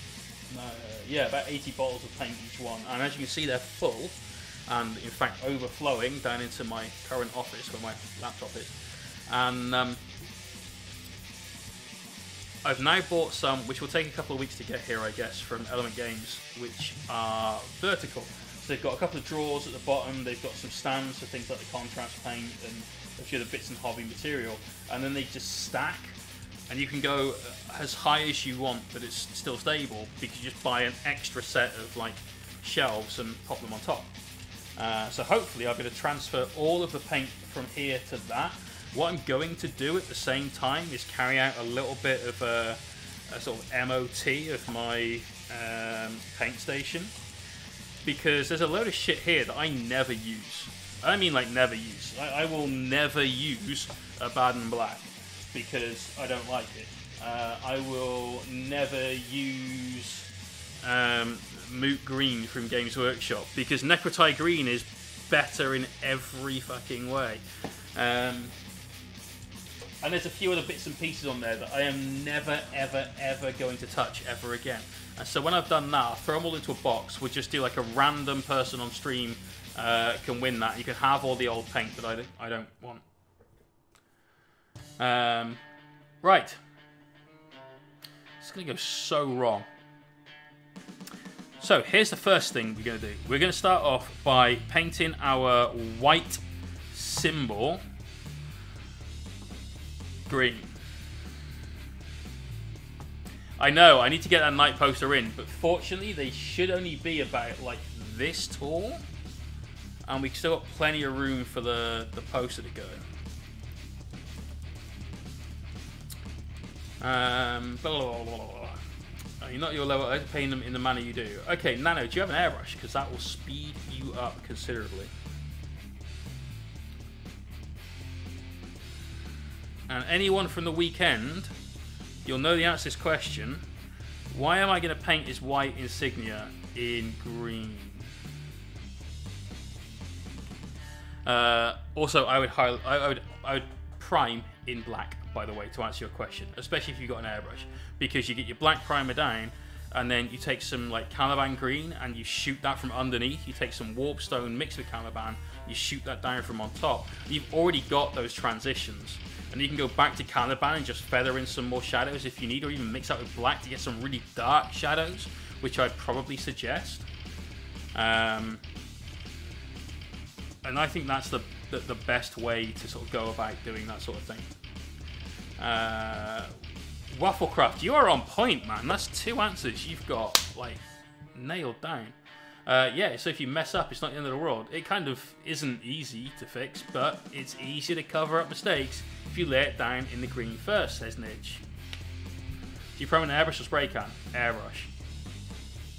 Always. Always, always airbrush. Milo, you negative son of a bitch. How dare you? Uh, so, first thing you need is some steady hands, and how you get those is up to you.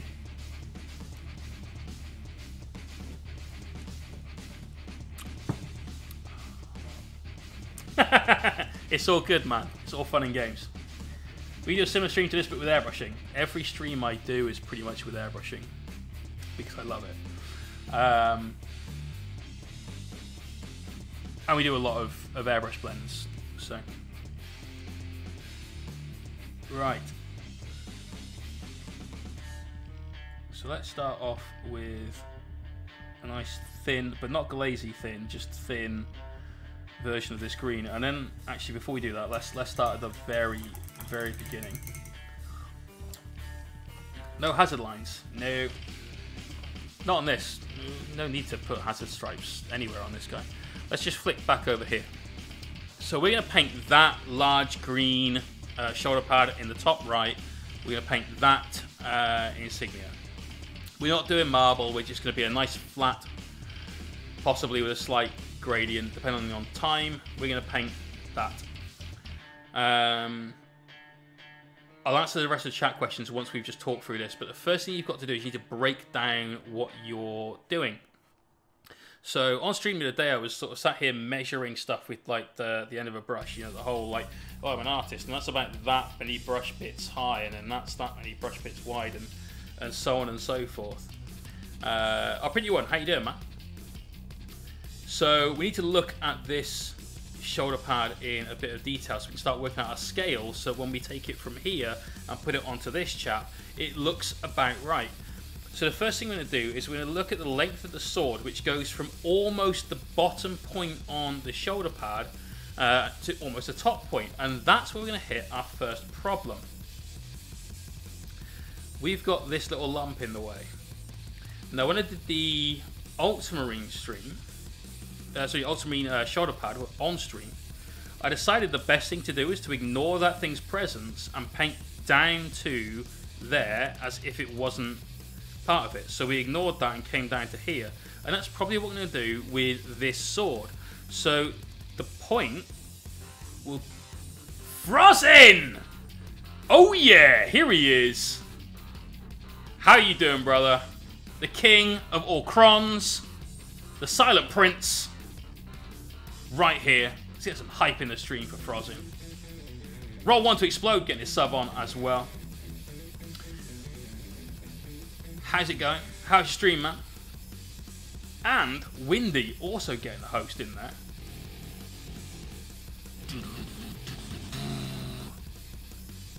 Love it. It's a cucumber freeing cucumber king.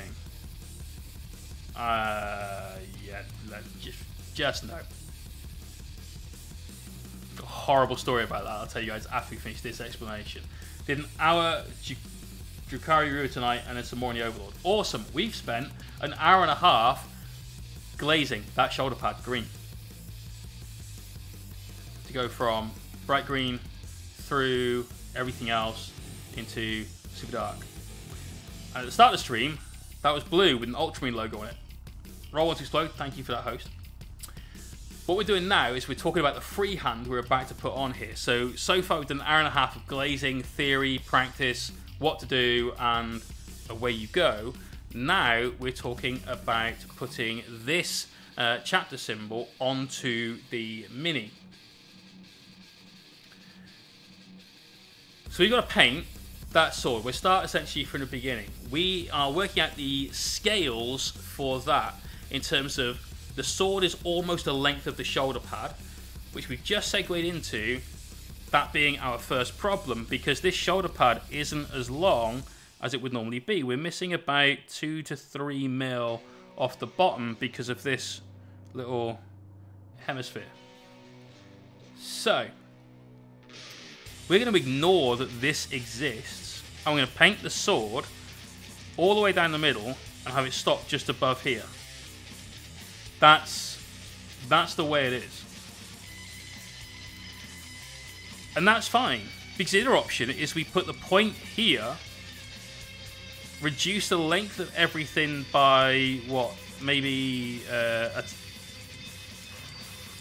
maybe 20%, which means we're having to reduce the width of everything by 20%. And so instead of having a, a shoulder pad that contains an insignia that kind of fills the space, you've got this little participation award just slapped on his shoulder, and nobody wants that. So let's go back over to our inspiration, our um, reference. We know that the length of the sword is the length of the shoulder pad, And if we do a bit of this, then that is also about the same as the width on the wings. So that means that we know that the sword's got to go from. Keep flicking back and forth. So it's got to go from about this point here, right the way down.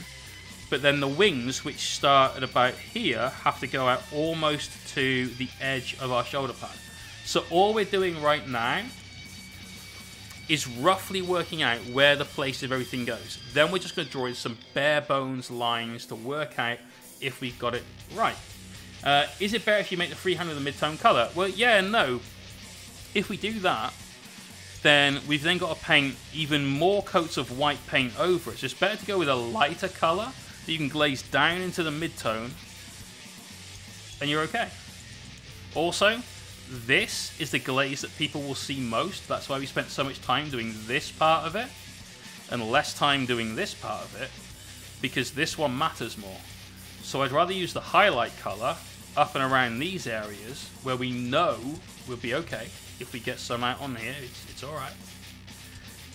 So overall, this is the decision that we're going with. So now we're just going to draw like a stick figure version of the Dark Angels logo uh, while I answer the questions that we had in the chat. So one of them was, uh, what's a good yellow spray can for Imperial Fist? Kind of annoying that Avalanche Sunset can was discontinued. I have absolutely no idea. You could try the Army Painter. Um, I love airbrushing. This is well known. This is a fact. Uh, and I think the best way to paint Imperial Fists is to prime them black, then zenithly highlight with white, so that's you spraying from the top down the mini to give you some nice white uh, highlights. Then turn the miniature upside down and spray underneath with red and then spray over the top with yellow with the airbrush. We did an Imperial Fist, which we did as a raffle giveaway uh, on the last weekend stream we did prior to this one. Um, because those are the colours I painted my Nurgle Demon army in. I used the Imperial Fist as a test project, uh, sorry, test uh, piece for that project. Right, so now we're looking at the placement of the crossbar of the wings, and they are about 40% down. So Bear in mind this comes down to here in our head. That's halfway. So just above that is where our wings start. So to move out slightly and just do a dot either side. So we've got a start point for those. And the reason you do a tiny dot is because you just want to reference more than anything else. Yeah, there, there is. Uh, that's fine, because we're going to cover up most of them. Uh, I also want to make sure that they are the same level, which they're not. It should be there. And that will go, like I said, almost to the edge. So that brings us to about here. And then also to about here. So we've got that crossbar essentially. Then we're going to draw that back in so we've got a good reference. And I will tell you a story about a cucumber, which is why I don't want to think of cucumbers and frozen. So I have had many jobs in my life. Uh, I get bored very easily, and as a result, I uh, frequently have done things that are unusual or just a little bit out of the ordinary. Uh, I've been a professional wrestler, I've been a cage fighter, um, I've worked in banking, uh, I've worked in a contact center. Uh, I currently work in app development and web development. I love it, it's great fun. Uh, but I once worked as a greengrocer when I stopped being a chef and the most horrifying thing happened to me as a greengrocer. Uh, I was working in a store not far from where I live right now, and a we'll, we'll say old but not elderly woman. Uh, let's place her somewhere in the region of late 50s. She came in and bought, after much deliberation, a large cucumber. And she kept picking up different cucumbers and looking at them and putting down a different one, and putting down. And I thought she was just looking for, know, I need, need a really nice shiny cucumber or whatever for my salad. I don't, no idea what was going through her head. Frankly, I didn't give a toss. And then I knew what was going through her head when she walked up to till and she said, did you know that if you put a cucumber in the microwave for 15 seconds, it feels just like the real thing? And I stood there and I thought, I thought, and then I realised what she meant. And I, oh, yeah, uh, uh, uh. And so you can understand why I, I don't want the merest thought of frozing the cucumber man. At all. Fuck no!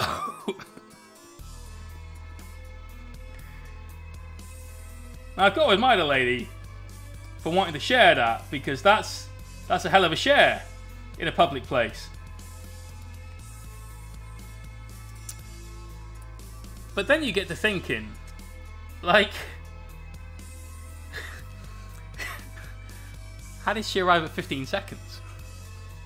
It's like 30 seconds. Oh, no, it's it's mush. Uh, two seconds. Still a bit chilly. What, what level of product testing have, have those cucumbers been subjected to for it to be 15 seconds exactly? Not 16. No.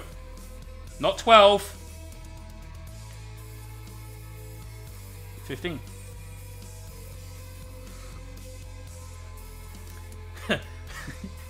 you can if it's at room temperature.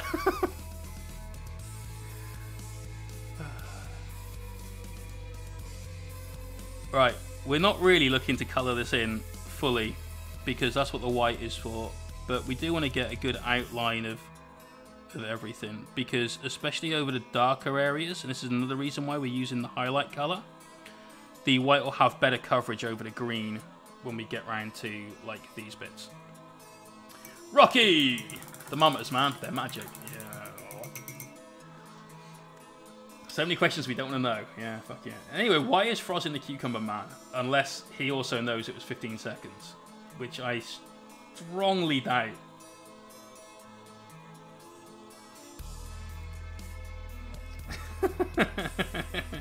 Mate, a cucumber was like 25p. So, you know, I suppose it saves on uh, on maybe like baby wipes or something.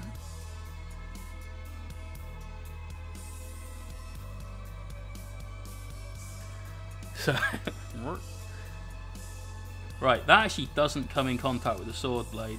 So we need to do this on a slight angle and it comes down to the flare out point ends which we'll call just above that little bump in the shoulder so that's the line that we need to follow not that little bit in the middle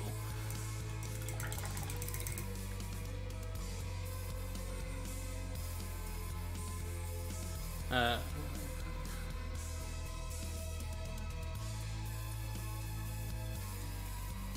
wow Wow.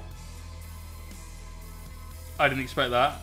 I, I expected that to go even more dark than that, but that's good. Right, and there are four, one, two, three, four, yeah, four bits of feather, essentially, on each of these. So the first one's slightly thicker than the rest. So let's just draw that out to about here for now.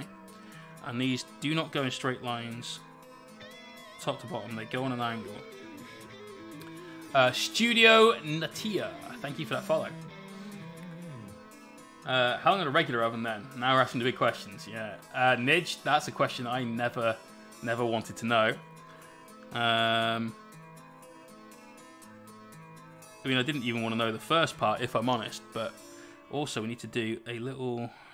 He's come down in like dots, so there, there, there. I think that's about right.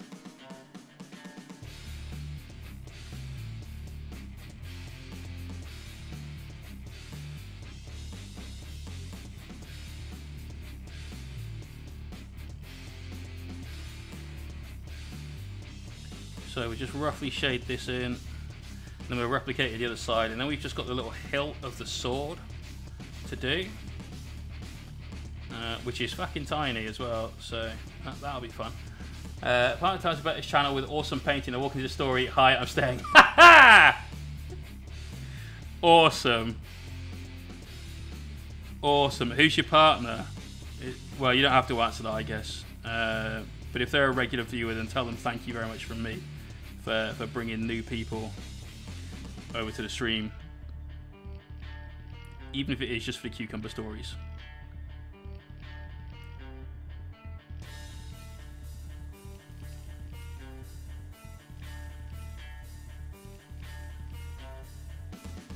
And no one's told me yet why Frozin is the cucumber Frozin. Like, what, what is, why is Frozin the king of cucumbers or something? Uh, Pigs props. Ah, nice.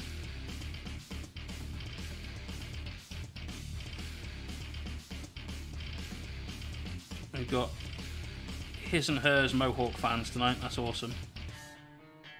At least I, that's a gross assumption, so forgive me if I'm incorrect. Uh, right. Now let's do the other side. So we've got one wing. We've got one winged sword. What stories you have more than one story? I, I've got a billion stories. Some of them are fucking horrible. Some of them I literally can't say on, on stream, or I will possibly be arrested, let alone uh, taken off air. Um, I've got some awful ones from wrestling.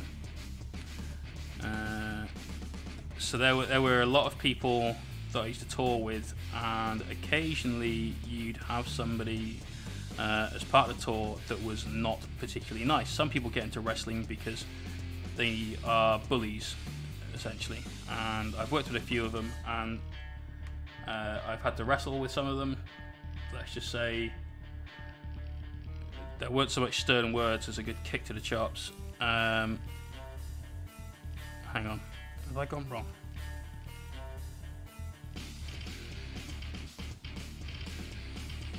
Yes, just a bit. Uh, shrugging Atlas 84, thanks for that sub, dude. And Chicken Fingers, peace out, mate. Do you have stories about flamers? Uh, no. No, I mean, a chef once set himself on fire using a, a little butane torch uh, for a creme brulee. But it was a very, very small fire and it was very, very, very quickly put out. So the story is about as interesting as the bit we've just covered and I kind of gave you the punchline. So that's that's that. Uh, it was entirely the UK scene that I wrestled in. Um, before I had an injury, I was due to go out to the States and go to the funk place. I've forgotten the name of it.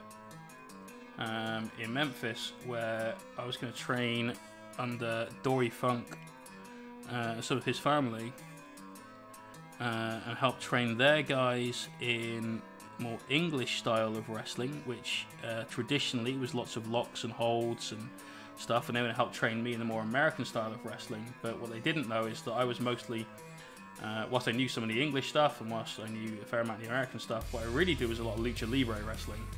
So, arm throws, uh, runners, jumping off ropes.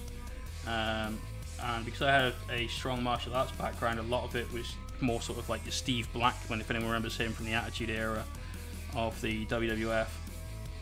Uh, it's lots of kicks. I think uh, Tajiri, but me.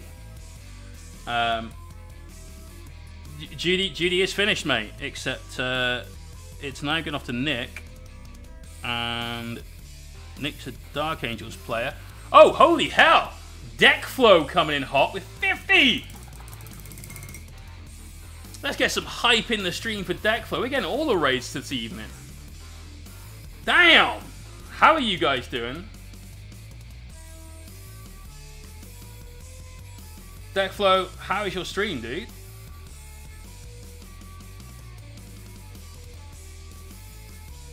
Who you got? Logo Che. Lowen. O2. There's a theme here. Uh, Boons Note 91. There we go. Lowen, thanks for that follow. Got Jack 3K. Nick McDade is here. I'll punch you in the head.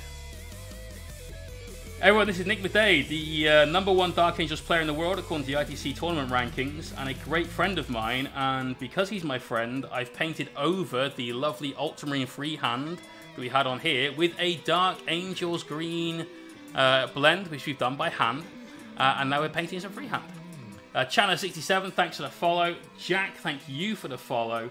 Creepy Kangaroo is here. Milo, thank you very much.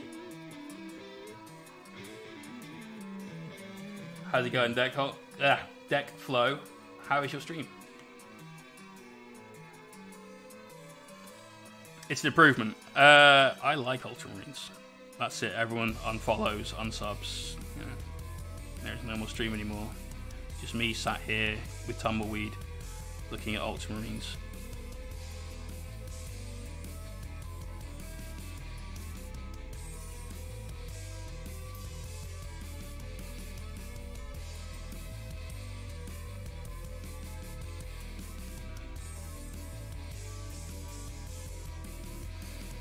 Oakley Doakley.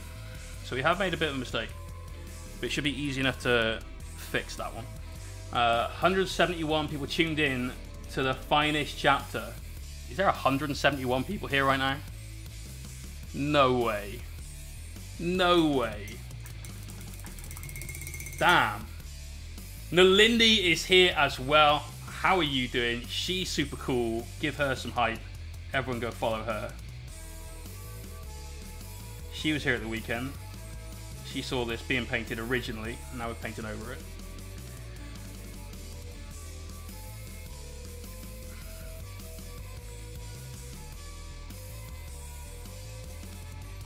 I think that was what Matt. So I did, I did a quick AMA on Instagram, and um,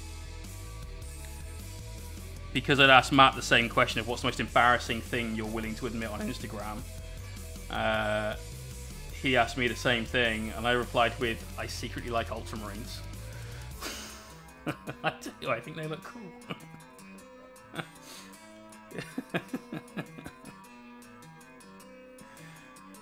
right. So we've got the hilt of his sword to do, which is a little dot, which is a slightly bigger dot than that, and then a little dot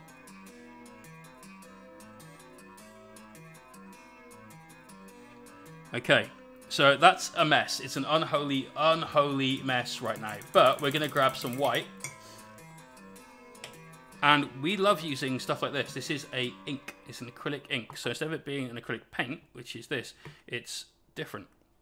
Basically, the only real difference to it is, is how finely ground the pigment in this is. No, you're not, Des. I, I, I don't care. We, we have made our comments final, and that's that's that. Let's not go back to an Ultramarine. It's been a dank angle.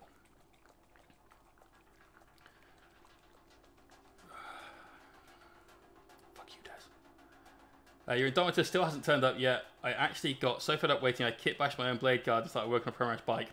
Brilliant. Where did you order it from, dude?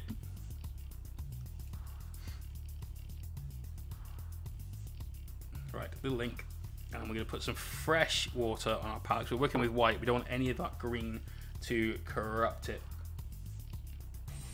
There's nothing wrong with Ultramarines at all. You're all wrong. And I worked for Games Workshop, which means I've painted more Ultramarines than most people. They're okay. Uh, Riesling, yes. Yes, I did. I actually watched Valrak's video on that. Um, because the coolest thing in all of 40k is Angron. He is. He is the Demon Primarch of Rage. Oh. If I could be anyone in 40k, I'd be Angron. For definite. Constantly having a scrap. Always pissed off. I mean, the similarities are endless. Right, so now we've got some white ink. So we're going to start fleshing this out a little bit with this. And it's going to take many, many coats of white to smooth this out. Because same as any paint, you know, you will get brush marks coming through and little imperfections and so on. And it's just going to take some time, but that's fine. We're working on our freehand. This is all one great big master plan to do two lots of, uh, of freehand. Uh, dude, we, we frequently do this. Uh, we're just bowing to the dark gods, and that helps with the freehand. Uh, it was worse last week when the mohawk was about another inch and a half long. Um, and so even from this position, it was more like this position. So, you know, but thank you for the warning.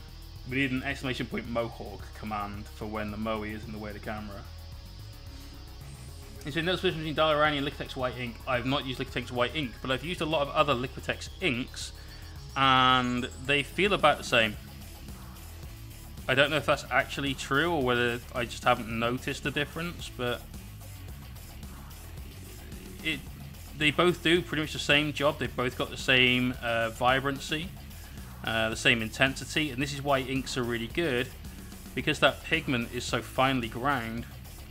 You've got something that will give you really good coverage but stay thin. So uh, Angron, he might have been in Battle for Abyss, the, the Horus books. Uh, he was in one of my absolute favourite books, which is Betrayer by Aaron Dembski Bowden. And I fucking love, love that book. Just, oh, yes. AMP Services, dude, how you doing? Let's get some love in the stream for my boy Justin. This guy is an absolute boss. Super positive member of the hobby. And I have been so rude as to ignore his Twitch whisper despite having read it and thought, yes, that would be a fucking great idea. Just haven't replied yet, which I'm really sorry about. The weekend was a bit of a weekend we painted this guy in full as an Ultramarine Judiciar, and we painted the Necron Skorpekh Lord in full, looking like the unholy love child of Freddy Krueger, the ABC robot from Judge Dredd, and one of the greatest movie mechs of all time, Gipsy Danger from Pacific Rim. Mmm! Mmm! It was so good! Yes, Betrayer is the book where he fucking squats a warhound titan because he's so fucked off. Like, with the sheer power of being completely raging, he squats a titan.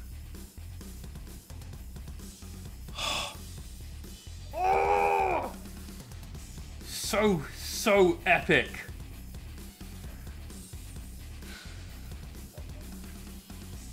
Watching a painter hyped while painting. Fuck yes, man.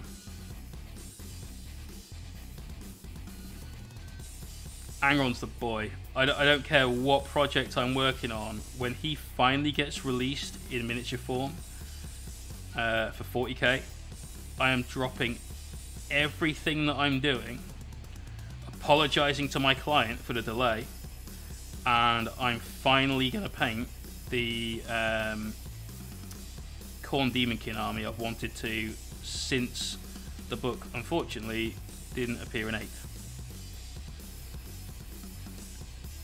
No Khorne Daemonkin. That's the only codex from 7th that was a full codex that's just like, ah, uh, no. No Daemonkin for you.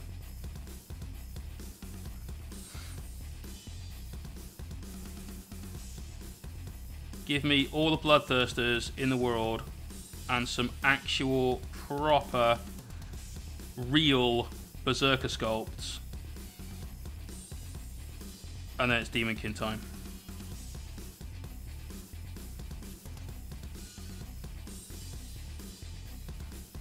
So starting to get a ever so slightly fat-winged Dark Angel symbol. And now it's just a case of keep doing the white until that's all nice and solid. Then we'll get some of the greens back out and we'll carefully edge in around the sides. And what that's going to do is give us... What do they turn around for?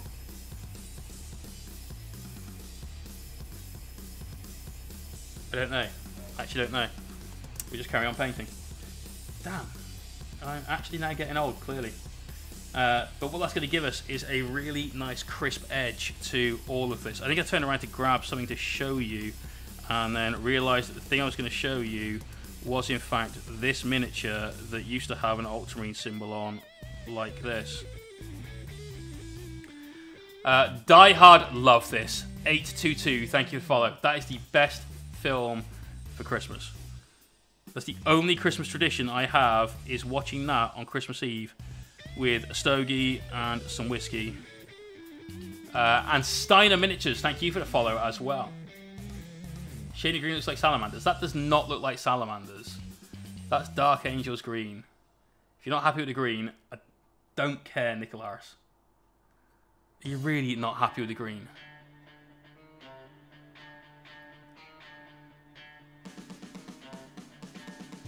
Felt a demon behind you. Yes. honestly, do you not? Is it too too bright?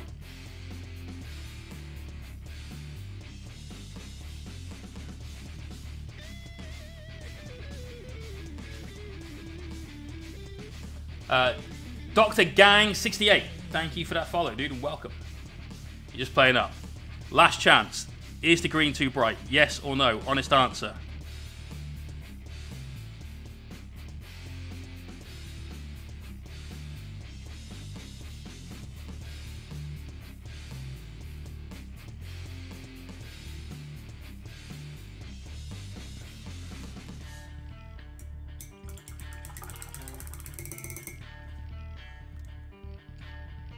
Roll one to explode. You and I would clearly get along very well.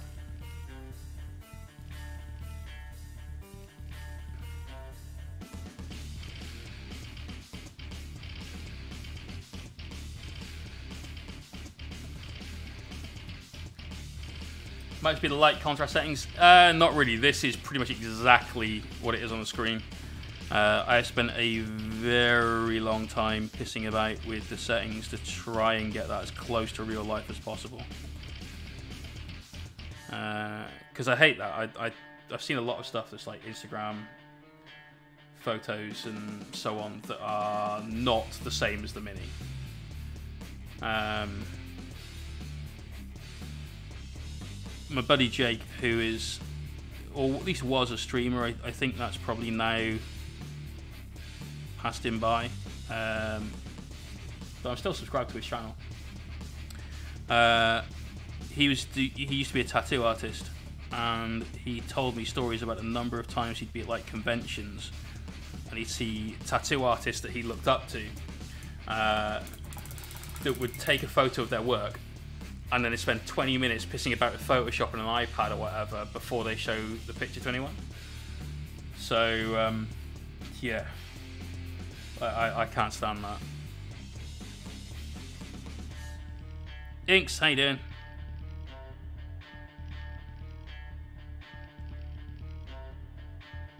So we're just going to paint this white repeatedly until it's a nice, strong, solid white. That That's it. We're just colouring within the lines. There's no secret to this. It's just repetition. Much like the glazing that we did earlier on. It's just reps nothing else. That's another really good reason to be using the ink because it's already about the same consistency that you want it to be. Um, and at that point, it's just go with it. Do the grind. Reach level 100. Ascend to create a demonhood. Kill Mangron and win. Sorted.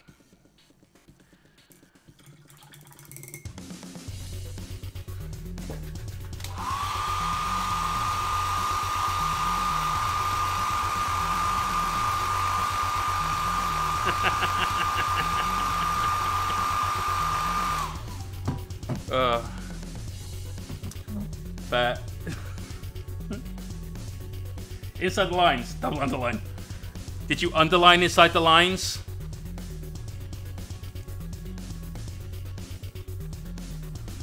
Alright, and then when we finish this, uh, I'm going to burn it. Burn it. That's just melodramatic.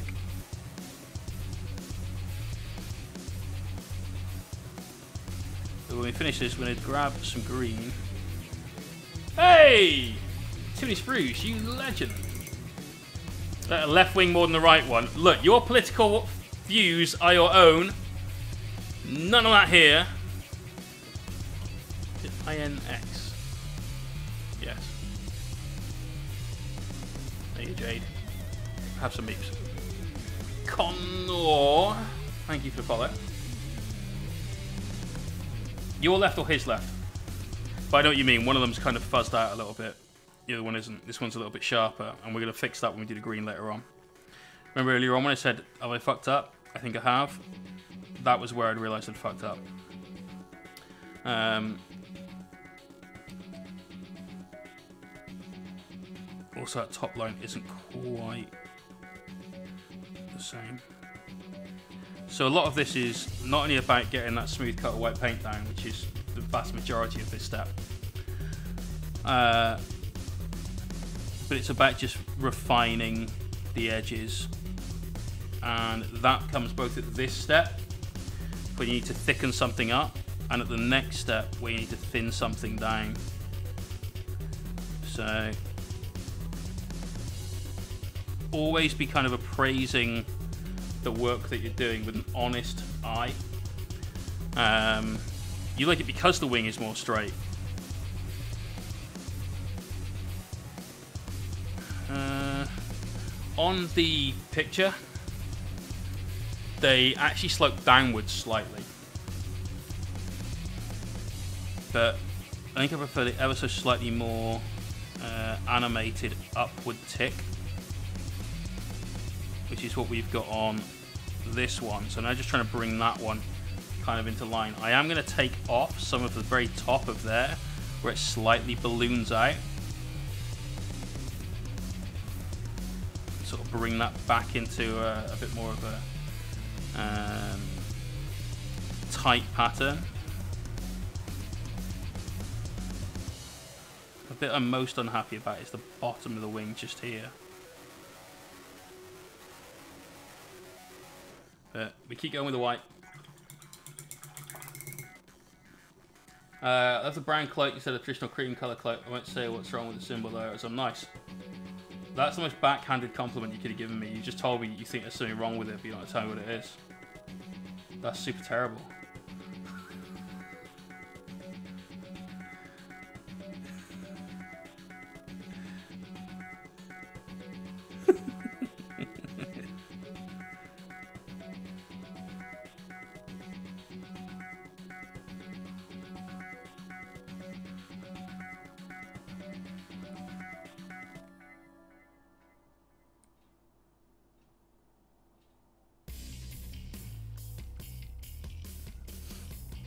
Uh, how do I prolong the lifespan of the point on my paintbrushes? Take good care of them. That's there's, there's no real um, yo dog. There's no ancient Chinese technique here. There's um basically just make sure you keep these, yeah, your little condoms for your paint, because um, that helps protect the bristles store them led down, not standing up. Definitely not that way, unless you can suspend them in a rack. Uh, use things like brush soap uh, slash conditioner. I use the Masters, but only because I haven't yet picked up any of Jen's uh, Drunktastic brush goop, uh, which is allegedly even better from things that I've heard. Um, don't jab the miniature with them. Make sure you use a good pointed brush, but only for um, like the things that require a nice stable point, and use something that's a little bit more of an older brush or that's got a, a point you don't care about so much, at least for everything else. Um, then the next real secret is that frequently you get what you pay for. Uh, I buy brushes which are relatively expensive. I say relatively, they're about 10 to 12 pounds a brush, which seems like a lot, but I paint about 50 hours a week, and about 40 hours of that week is with pretty much this particular brush, like this exact one. Um, and they last me anywhere up to six months before the point still remains a perfect point. I just lose a couple of mil off the front. So uh, I have no idea. We just chose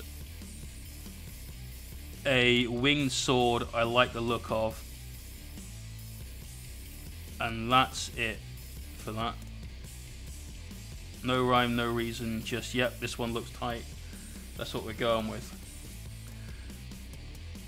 Right, we're nearly at the point where everything is coloured in white, which is good because I imagine most of you are bored of seeing you literally paint the same thing a hundred times. Um, and then we can start getting the green back out and just tidying up the edges, making sure this is nice and uniform. Uh, which is also good because we've got about five minutes left before we would normally go over to the whip gallery. Uh, so the whip gallery will keep relatively short today. We'll give some feedback, uh, but we'll keep it kind of short and concise. Normally we like to try and be a little bit longer with it and give something really, really constructive, but uh, I am a tired J, unfortunately, so it will probably be a little bit uh, more rapid fire than normal. The Dyson, how you doing, man? Uh, fair. Um, what was I about to say? So yes, if you would like to have your work put in the work in progress gallery and have it shown on stream and have us chat about it and so on and so forth, exclamation point Discord.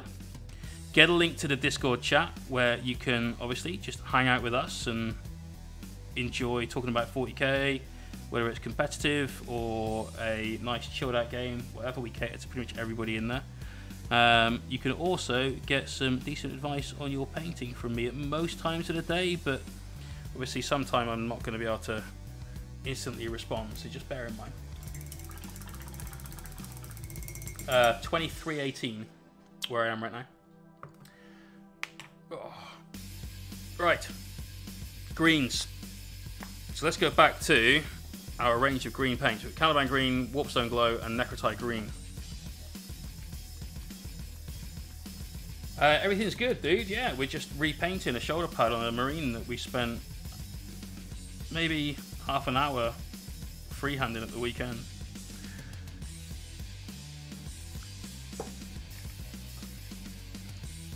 Nick, I want beer. I want beer from you, Nick.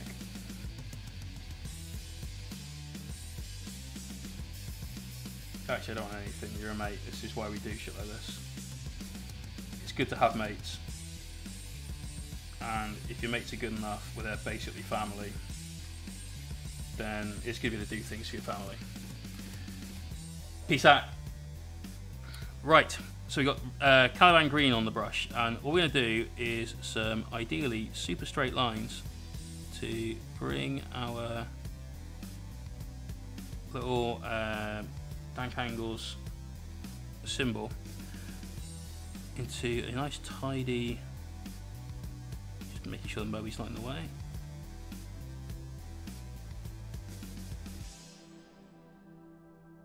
Very defined wing.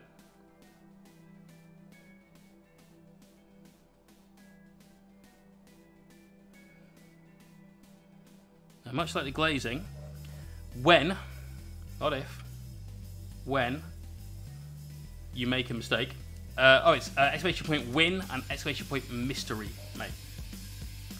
Um, how would you suggest a person like me as major hand to eye difficulty do freehand? Uh, that's a rough one. Um, do you mean you just have difficulty with detail work, or is it like your hands uh, tremble, or I mean, obviously I don't want to be personal, but the more information you give me there, I might be able to give you a better answer than the the sort of stock one, which unfortunately is just practice. You have to kind of feel where your brush tip is rather than necessarily see where it is. Um, or maybe you get something like Ada's got. He's got that kind of like flip down visor that goes in front of his glasses so he can see uh, like a magnified view. Um, so essentially, the question I suppose is: Is it the eyesight that's the issue, or the hand that's the issue? Uh, if it's the eyesight that's the issue, then um, I mean, obviously, I recommend everyone have regular like sight checks and so on. I wear contact lenses, so I go every couple of years and have my sight measured up and uh, a new prescription filled if needed, and so on. Uh, if it's the hand, then a comfortable painting position is the most important thing because if you're comfortable, then you're able to paint for longer and so on. You can concentrate a little better. Uh, last stream is Thursday, yeah. Dyspraxia, I know dyspraxia, yeah. Um, I don't know.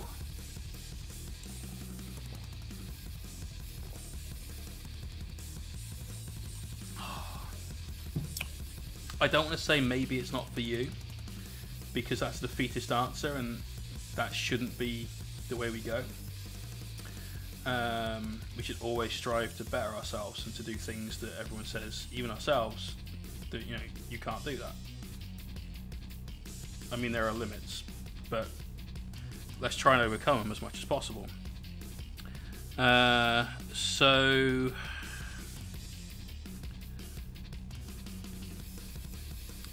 Can you do anything like this for an intermediate amount of time? So not a like maybe not sit there for two hours doing freehand, but if you can do like five minutes uh, before it becomes an issue, just maybe do it in stages. Uh, if there's a better painting position or like setup that you could have to help you out, um, maybe you could look at your environment a little bit. Excuse me. Are you currently taking commissions? No, I'm afraid not, mate. We are so booked, it's not even funny. I've even taken a booking that I said to everyone I wouldn't take a booking past this point because the person that was asking me to do it is someone that I really like, uh, and they're also a YouTube uh, content creator. Um, and I've even had to tell them, look, you know, we'll do it, that's cool, but I've got people I've agreed to do work for. And so before you even get started, you might be looking at March. It's I told him that about four weeks ago, so that's nine months down the line before we start the commission. So I, I can't take anything more on, man. I, I would love to. I genuinely, genuinely would because I, I, I really like what I do. Uh, I've got to look after everyone else that we've already agreed to. Thank you, man. That's that's super, super cool of you to say. Uh, right, so we've now moved on to our mid-tone green, which is the Warpstone Glow, to get some of these lines. That down here we could use the Caliban green, no issues because everything was dark, but up here it's not. Now it's okay to have a darker line around our icon because it helps snap it into focus. But let's just make sure it's not the thing that gives like takes away uh, all of the focus to it. That's why we've got all of the rest of these lined up on the palette. So for these highlights, we can get away with it. Uh, not highlights, uh, correction lines, rather. Well, we got Miggy Mimosa. Thank you for that follow. Also, Cool name.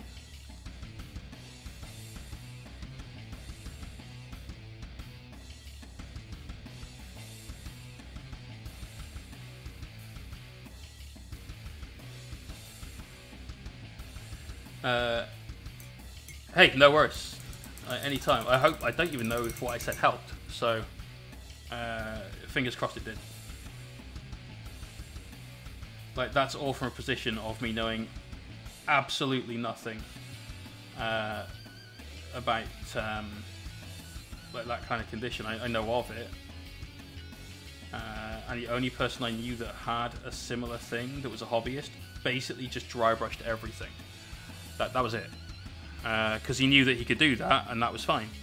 Um, this was when I was working at GW, and we, we tried to help him out with other um, like other uh, techniques that he could do. Uh, and eventually we got into things like using washes properly and correct uh, sort of theory for highlighting. Um, but in terms of his physical ability, dry brushing was still kind of the limit. Uh, okay, that's not massively even. We're too long on this side, we start bringing that back a little. Brush licker and paint eater, I'm afraid, at sometimes, man. Right, now we're going to get a mix of these. Uh, Murky Merker 33, thanks for that follow. So, just going to mix in a little necrotite with our warpstone. Give ourselves a bit of a mid colour between those two. Kingfish Games, Dark Prussian Blue from Vallejo, tastes like banana. What's a Laffy Taffy? Is that those like foam banana things? The uh, the bright yellow, extremely um, synthetic bananas. And Shriebla. Cheers for that follow too. Lots of new people tonight. This is awesome. Cheers, guys. And Rock as well. It is a candy. Dang. Right. I want to shorten that one.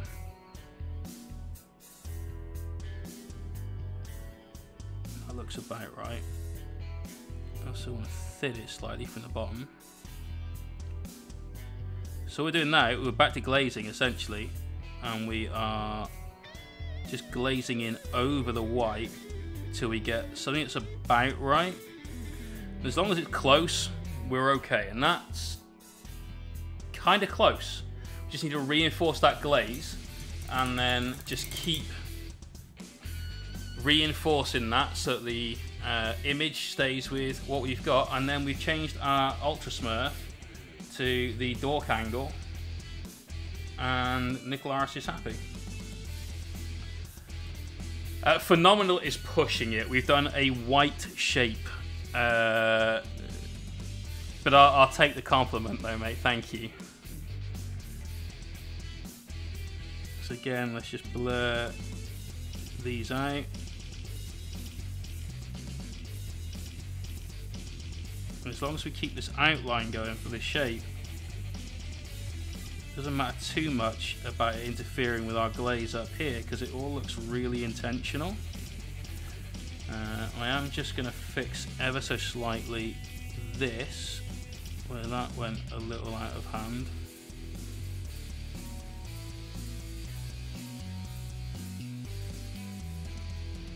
There we go. That'll do.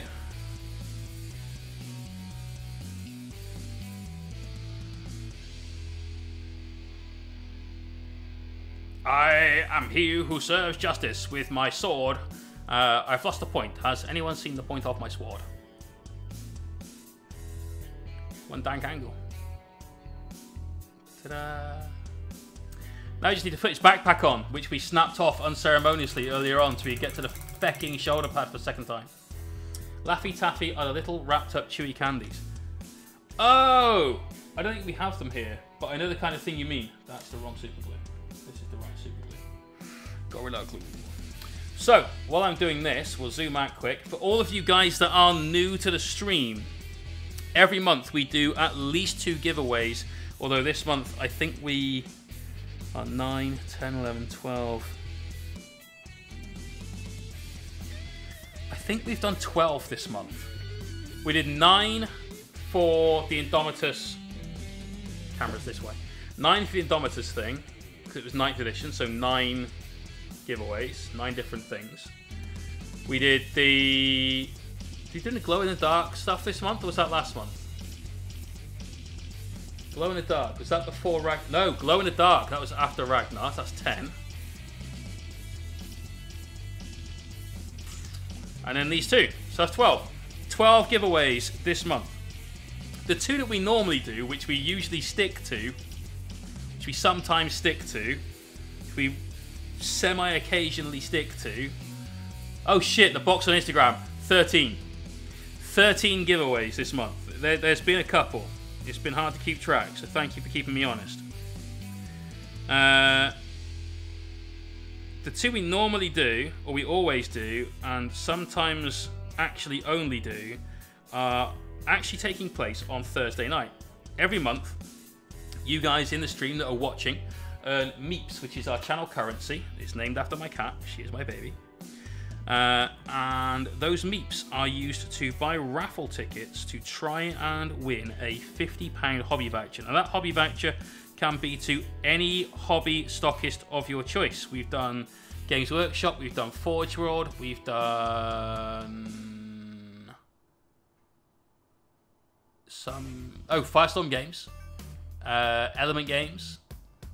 Uh, and once somebody was desperate to buy an airbrush, so I just gave him 50 quid. Because the hobby voucher is £50 sterling value. Last month it got turned into Nagash almost instantly upon uh, being sent out. So that's a really, really good prize. If you need to buy a load of things, brushes, paints, toy soldiers, uh, God, you can spunk it all on like black spray paint to undercoat everything if you wanted to. It's all good. So if you would like to win that £50 hobby voucher, all you need to do is save your meeps. If you're a subscriber, we give you 3,000 meeps, which is enough for just over seven entries. It just generally means that if you watch every stream that we put out for a month, you get about 10, 10 chances to win that voucher. Your name's in the hat 10 times, basically. That takes place at about 11, well, almost exactly 11:30 on Thursday's stream. That's PM. We also have a giveaway every month for a prize from me. So every month I will paint a miniature for one subscriber, and it is a subscriber only raffle.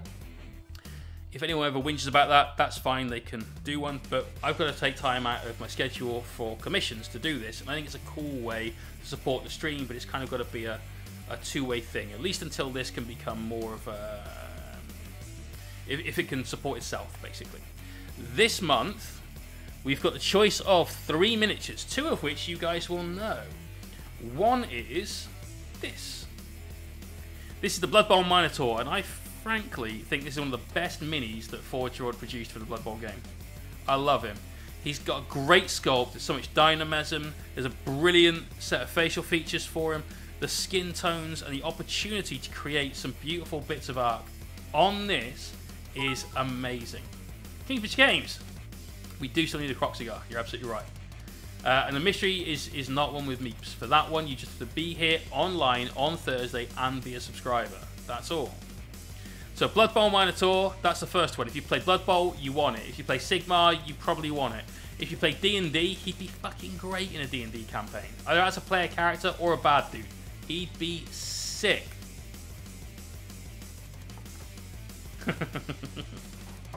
The second one that we've got is this Chaos Obliterator. Now, this might seem like a little bit of a step down in price from, say, Ragnar Blackmane that we had last month, but you can't buy this guy for less than 65 quid from Games Workshop, because to get this, you have to buy the Start Collecting Chaos Space Marines thing, which is half a Shadow Spear, and that's 65 quid for two Obliterators, when you really only want one, so he's one expensive mini. But we'll paint this up in the colour scheme of any Legion of your choice. If you win, you get to choose the colour scheme. So that's the first two. Now, if either one of those makes you think, yeah, I'm not that fast. I don't. I don't really care. I don't play Blood Bowl. I don't play Sigmar. I don't play Chaos. I don't play D and D. Well, we've got something else for you. It's a gamble. This is the mystery box, and in this box is a miniature. And I'm not going to tell you what it is. Nobody knows what this is other than me. My housemate doesn't know. I just told him that he would like it. He was very unimpressed when he said, "Oh, what's in it?" I said, "It's a mystery." The, the look I got was was not a good one. Uh, he may have plotted to kill me in my sleep at that stage. But in this box is something that has spent time on the shelves. You can see we've got uh, Eldar minis, all the Indomitus stuff, obviously. We've had that for a little while. Um, some limited edition Space Marines, some Grey Knights. We've got some Warcry stuff, which is super cool. Uh, some other limited edition minis. We've got some Tau. We've got some Dark Eldar. We've got uh, Blood Bowl, Sigmar, everything that you could possibly think of in there. One of those things is in this box. That's a mystery. It could be any of those cool things, but equally it could also be just tucked away up there. I've got some 40k scenery, you know, the plastic Cities of Death stuff they made recently. It could just be a bit of scenery. It could be a Necron Scarab, but I mean like the shitty old ones, not the cool new ones. I mean one of them, not four of them. It could just be a scenic base. You don't know. All you know is that it's a mini of some description that has to fit solely within the confines of this box.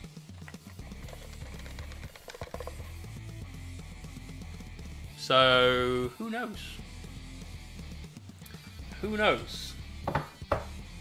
If you want to find out, be here on Thursday and be a subscriber. You could not only win a £50 hobby voucher, but you could also win one of those minis painted by me in a colour scheme of your choice and shipped to you anywhere in the world. But for now, let's whip it out. Exclamation point Discord in the chat. Go to the work in progress channel. Show me what you got. Kingfisher Games. Any idea how you can get hold of some salamanders, upgrades, and transfers? From EG has them, but they aren't shipping it stateside. Uh, who? Were they not a full? Oh no, they weren't. They were a plastic blister pack. GW. If you live in the states, aren't they just straight from G Dubs? I don't know. Don't trust him. Let's get rid of his old pocket pussy. That's horrible. Cucumbers. Robosh, how you doing? He hasn't sold out for stateside. What is it like currently or indefinitely? Uh, this one is Hiko. He's back in business. Hiko has just finished renovating his house. He is an awesome painter. He's painted like 10 minis, and all of them are better than most of the ones that I have painted in the last, well, it, certainly in the length of time he's been in the hobby, they're all better than every mini that I ever painted during that time. And I painted a lot more than 10. They were just bad. So, Des says they come with the Primaris upgrade kit, if that's any help. So Hiko, I can't wait to see what you do that Dreadnought, mate. You've done loads of mini marines. Let's get the full Monty, absolute rocking Dreadnought going on. Farsiaz says, coming up with a scheme for my brother's Blood Bowl team while waiting for my half of Indomitus to come. So we've got, oh, the Undead Dudes. I've got this Blood Bowl team and I love them. They're right up on top of my shelves, up there in a little case. I did mine purple because of no reason whatsoever. I just, uh, I painted the team as a speed paint challenge and I got it done in about eight hours, which I was really happy with. Lots of oil work, uh, lots of airbrushing basically. These are cool. I like it, man.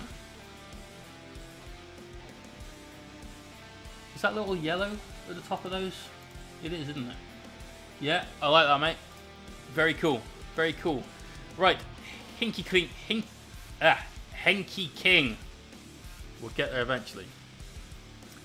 Henky King is painting a Primaris man without a hand. This is the banner dude from the 8th Ed starter set, isn't it? Nice, man. Keep that banner off till he's uh, ready to be a, ready to be assembled, though, because much easier to paint when it's in your hand and not attached to this dude. For real. Uh, this is my blender attempt. It's worse than my aggressor. I think it is terrible. Okay. Uh, okay, so the only thing that you've got wrong here is your paint is way too thick. Um, you know how on mine at the start we could see there were brush strokes, but there were brush strokes that you could see because um, the hue was different, not because the texture was different, right? It looked scratchy, it looked untidy because of the, the lines of different color, not because of the lines of paint. I can see visible um, brush strokes in this, and I appreciate we've blown this mini up to a, a massive, massive size right now, but I think you need to thin your paint a lot more than you're currently doing. Uh, other than that, it looks like the technique you've used is, is pretty okay. You know, it's just the paint needs to come down much, much, much thinner than you've currently got it. You can always, always do more coats of paint to build up the hue or the value of whatever it is that you're painting. Uh, roll one piece, but you can't really undo that if you put too much paint on. So thin it right down, go again. Not a bad attempt though. I even like the fact you've got some uh, brown paint around his boot, makes him look like he's been walking on that uh, surface you've got. It's all good. Butt shot. Power sword's fine. You know, it could do with some refinement. The the blend goes from being that kind of mid blue straight into that light blue. So take a mix of those two, glaze that down into the sword.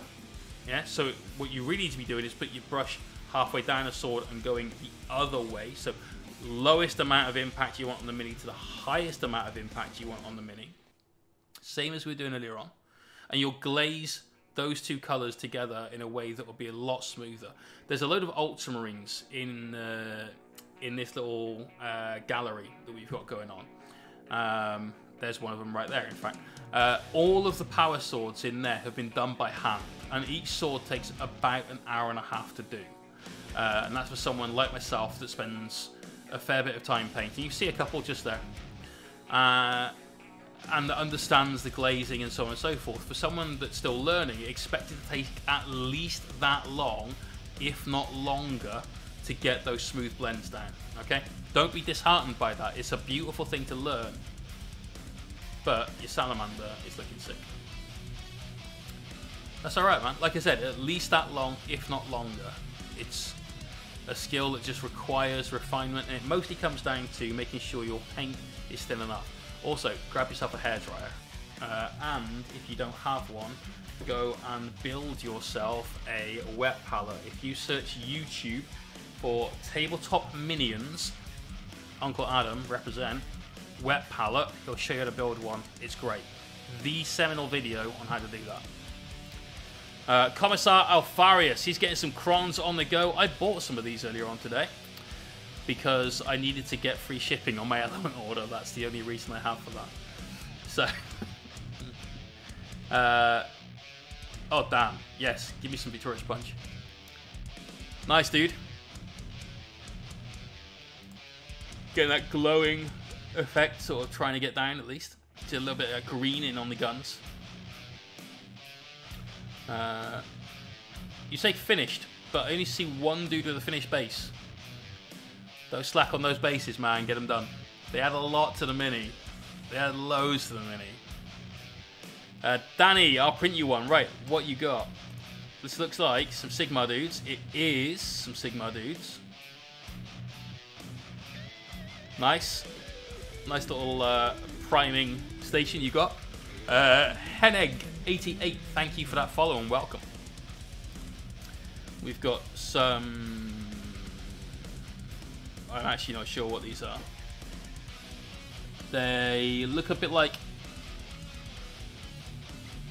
I was going to say Infinity Minis, but then the guy on the far right looks like Master Chief. Is this... Is this Infinity? Yeah, I'm pretty sure it's Infinity. It is Halo. Fuck. Damn, I should have stuck on my guns. That... Yes. Awesome. Great stuff, dude. And then here we got some bone dudes.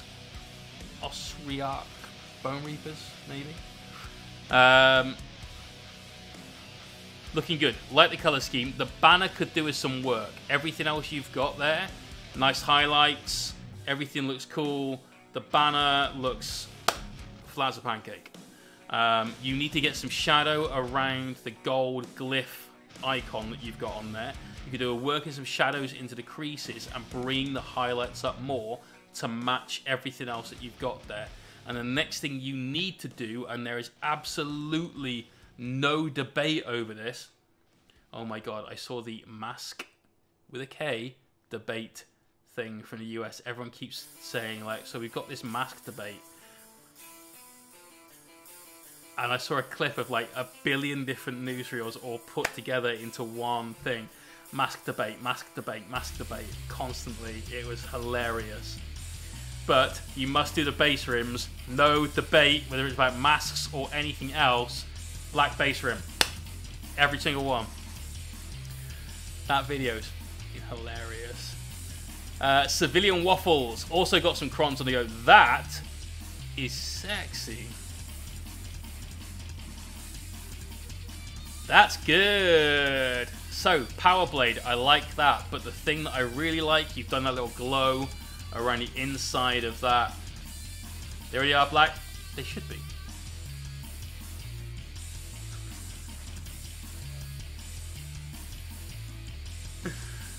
I know why you caps that.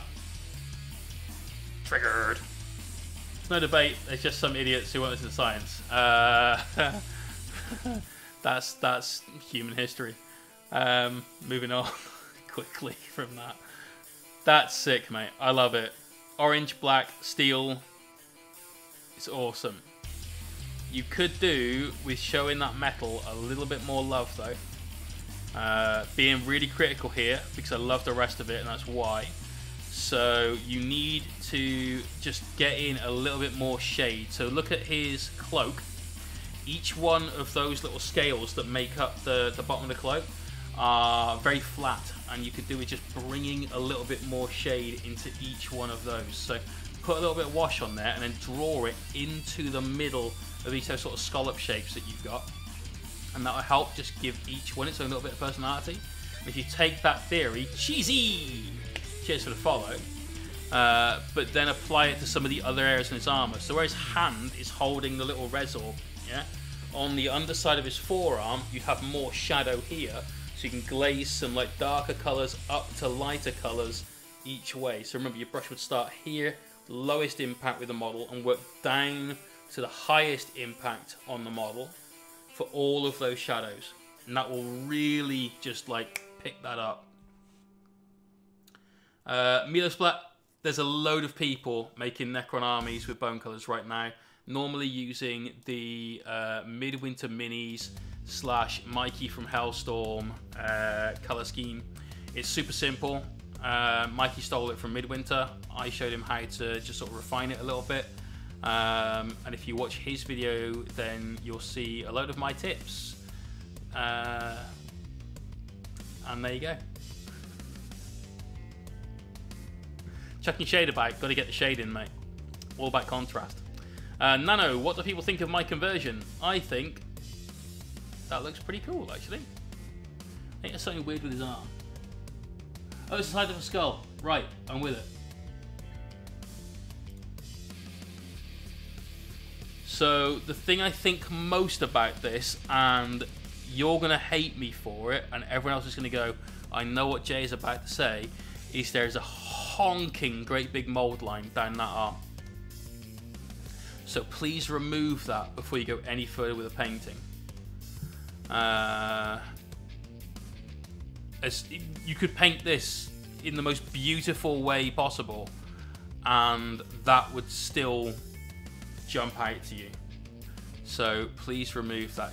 Either get some, or like X-Acto is always good, Uh, but I use these. These are little sanding twigs, so like little uh, bits of like uh, foam core, basically, with just different grain, a different grit, sorry, of sanding um, material. I know, dude. I know. It's okay, mate. You know me. I like to have a laugh and a joke. Sometimes at your expense now, obviously, but. Uh, but yeah, just one of these and just carefully just take those mold lines out. Conversion looks dope though. Big fan. Big fan.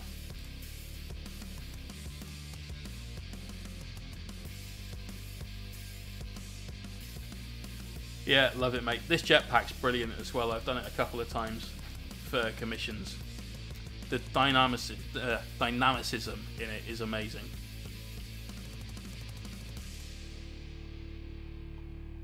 Uh, Kingfish Games. Base coat, blocking colors done for a source of Blood Bowl. If Uh, is this the picture? Cool. Um, I've always found better results when I put the paint on the Mini. Uh, this brings an entirely new uh, version to uh, finger painting, of course. Um, I've run out of jokes now, so we'll move on. But enjoy your uh, your Blood Bowl. Uh, okay, uh, in future, could you just put the Instagram pictures in here rather than that? Because always a little bit of a risky click, but I'll trust you. So let's do that and that for a start. Go away, you. Okay, cool. Do you, do you have a palette, or is it just like what, whatever room I've got left on this hand will will use to mix some paint up on here, and then oh, I need some blue. I've got room on my thumbnail for that, and it's what is going on, dude? I like the color scheme though. Yeah, greenish blue, digging it. Some red pants, red gloves.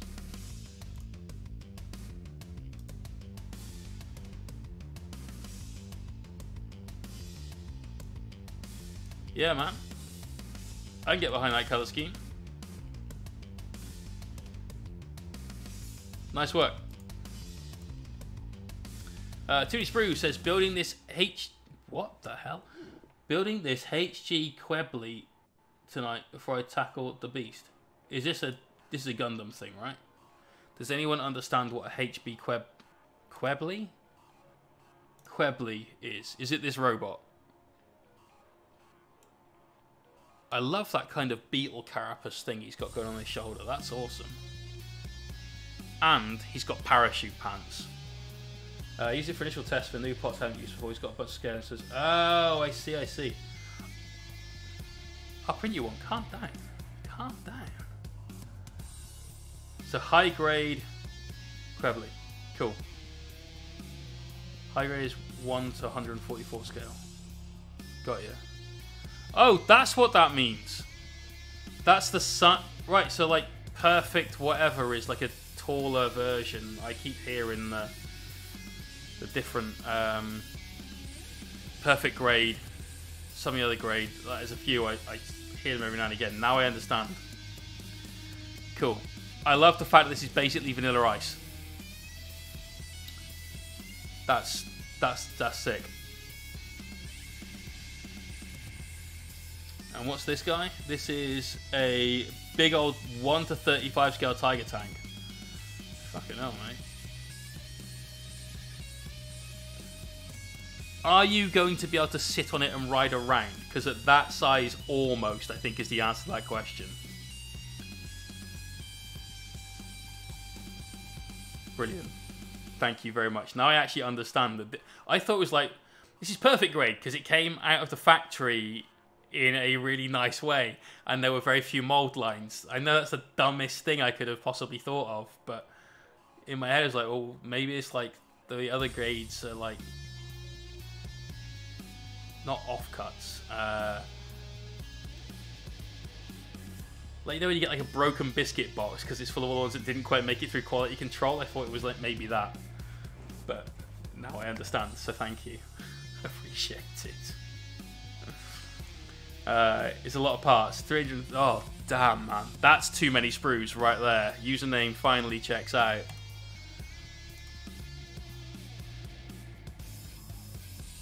I can see some arm strain going on lifting that too, mate. That's that's a big old kit. Have fun with that.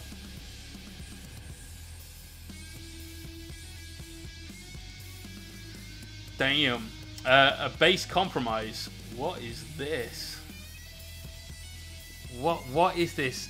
Unbelievably bright green.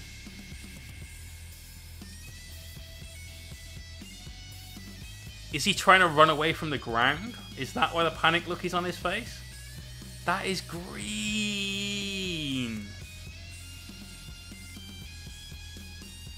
When you say compromise, what was the... Is it because you've got a black rim, but you've got green flock with a little bit of yellow dry brush? You're, you're mixing the two styles? Is, is that what's going on? Yeah, yeah, okay, okay. Uh, fair enough, mate. Fair enough. You need some uh, some rival craft static grass in your life. That's what you need. Inks, yeah, it is. The grass isn't always greener. Sometimes it's it's too green. nice, mate. Uh, Quid, my first cron, hoping to smash the whole Necron side within a week. That's a goal. Okay, this is sweet. So you've gone for the, the crackle paint basing. Uh, which actually works on this guy. It's rare that it does, I think, but it's solid. Then you've got. Did you do some of this with a sponge? I'm trying to work out if that's some texture that's been put down on the mini, or whether you sponged something else on top. You got bright red tufts coming too. Nice, man. This is going to sound really, really dumb. Alright, it, it will.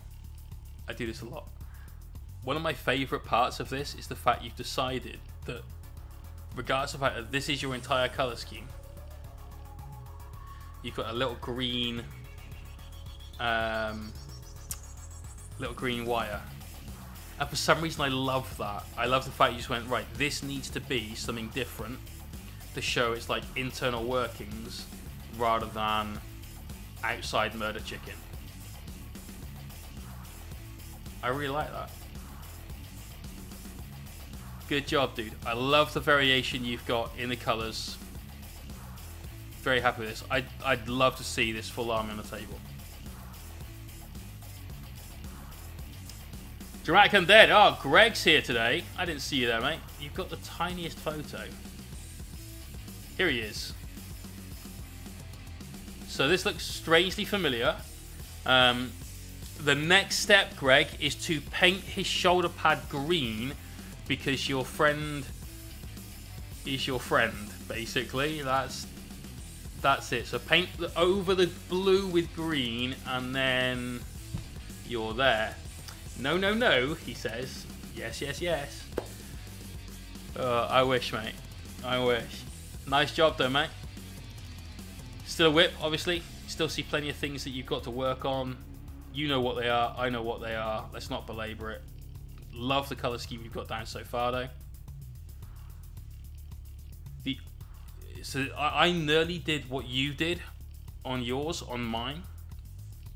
Uh, look at his knee pad on yours, and then look at his knee pad on mine. Okay. I nearly painted the top of this gold as well, but I realised that if I did, it would start to blend in with his coat. And if we go back to yours, you see that's exactly what's happened there. I figured I'd need that separation, that harsh line in there. Um, and because the brown that you've used is closer to that sort of mid-tone, and you could even use that brown quite considerably in uh, a lot of non-metallic metal, it blends into the gold a little too much. Chapter Master Lucifer, thank you for the follow. Nalindi! Peace out, hun. See you soon. Everyone give her a follow. She's awesome. And Botsan, thank you for the follow too. Otherwise, Greg, keep doing what you're doing, mate. Good job so far. Uh, Pixel Props. Oi, boss. Found a new battle wagon you was after. You just need some paints. Okay. I can dig this. We've got the Land Raider Battle Fortress, clearly, right now. I really like the fact it's got a little deck outside that door. So on a nice sunny day, you can just chill out on there, cruise around, play with the speed freaks a little bit. I like this little patio section on the top. This is good. That's a cool conversion. Now get some paint on it. Uh, Type Walker says, I love it. Under that track is something though to hide the hollow bit. I think. I don't know. As long as there's a um, like a gear or something in there, that's fine because the the bit that comes down is on a hard enough slope and it's perfectly straight, so it looks like it's taut. So as long as there's something in there, I think you're good. You know, mini freezer in a chair. A lazy boy would go really, really well with that top deck. Yeah. Yeah, and a Bud Light fridge. I'd never drink Bud Light. Uh, can I actually make these bigger? Give me one sec. I've seen this mini before. Yes, I can because you're a boss and you've given googly eyes over the not quite googly bits. Very cool, man. I think I saw this when you were about a week into it. It was a while back. Um, beautiful blends. Great color scheme. Awesome base. Is it biting its own hand? It is, isn't it? That's gross. That's gross. Yeah, yeah, it's eating its own hand. Awesome work though, man. Look at that non-metallic metal, that kind of chrome effect we've got going up the body. Absolutely beautiful.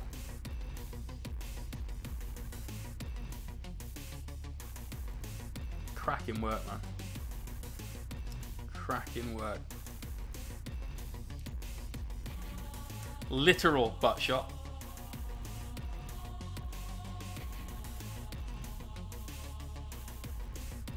I really like what you've done with the base as well, because she's she's walking a very um, like one foot just in front of the other way, and on the base you've kind of crowded in the sides to help exaggerate that. That's really good. Very clever. Uh, inks. Try color scheme. This is one of the um, Finecast Cryptek special characters, isn't it? Uh, oh, I can't remember what half of them are called. I know it's not Szeras. So you've got like um, is that a sort of reddish salmon pink kind of thing going on? That's that's the normal crypto. Damn. I only ever see the one with the spider these days. I'm gonna convert one out of the uh, spare uh, Overlord that I've got. Nice. Let's see it when there's some detail, some more detail rather. Very cool. What are you thinking for like the the staff and all that sort of stuff? Like, what's your next step for your color scheme? Everyone hates Finecast. Blue glow. Yeah, that'll work. That'll work. Nice. Pixel props and a bike test paint whip. That's cool. It's definitely a bobber.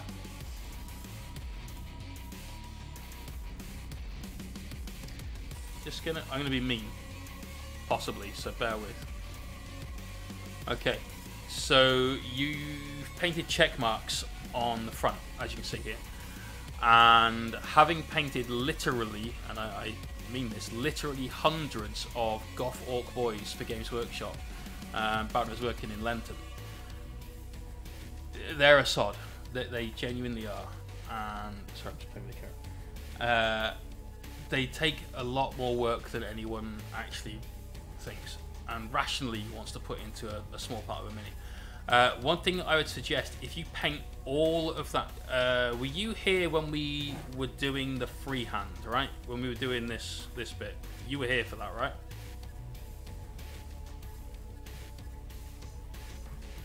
Yes, awesome. I thought so. On your checks, you've very clearly, and I've, you can see this from the, the red, painted black bits and then painted grey bits and highlighted the grey bits. Is that what happened?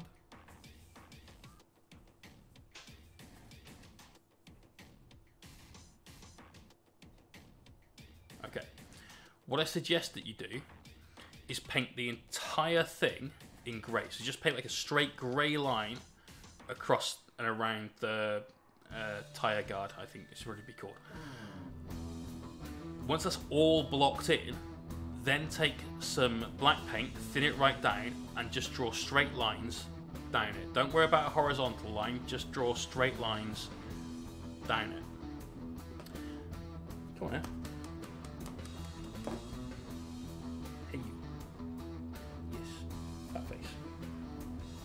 Come and say hello to the internet. So once you've got your black lines in, now decided that you're shy cat now? Okay. Once you get your black lines in, colour those boxes in black. So instead of doing that horizontal line as well, just do halfway up and make a black line. And then you can use the corner of that one to do the next one up, and the corner of that one to the next one down, corner and so on. And that helps keep your squares like literally one next to the other, rather than having any separation where you've drawn thick black lines in. Then the bits that are just dark grey, you can just highlight up with a little bit of grey, or just paint grey and just a little white at the top, and you've got a nice clean um, row of checker marks. It's a pain in the ass either way you do it. It really is. But that's probably the most foolproof way of doing it because most of the work is kind of done there for you. You can't possibly miss any bits. How much of a pain in the ass was it for you trying to draw the one, two, three, fourth in from the right on the bottom and not touch any of the white with that black, which is what's ended up with that little bit of red in there? I imagine quite a lot. But overall, ah, wrong button. Uh, let's do that. I really like the bike. Great color scheme. Red ones go faster. This is known. Uh, back to Danny again to prove he painted his basic basis black. There you go. See? Much better. And it does look much better, right? All you see now is this horde of skeletons charging towards you. This is why you should all paint your base rims black. I managed to convince Games Workshop to at least do dark grey, if not completely commit to the black. So, Twilight Walker, yes, actually, I do. I 100% do. Because orcs, believe it or not, are all about the bling. Check marks are bling. Mr. T has his jewellery. Orcs have check marks and dags. Not dogs, dags. And dags are the triangular ones. In your face. Nappy! He's doing uh, more ogre stuff for Age of Sigmar. This one looks like a butcher, I think. Uh, they were Black Force Stream. Yeah, yeah, yeah, right. Whatever, whatever. Yes, they use their teeth as cash, except TWEF for orcs. Uh, it's part of my Ogre miniatures list. I'm taking to Tony this weekend. Next two days are going to be long. yeah, yeah, big time. Uh, oil paints are absolutely like clutch for anything like this. With the like the bib thing that he's got going on, if you just get a uh, like a brown sort of burnt umber oil, splodge it all over there, and you just wipe it off with a sponge. Done gloss it first. I know you've doctored your timestamps. so I don't need to see this. Uh, and this guy's cool. Is this one of the ones that rides like rhinoceroses and things?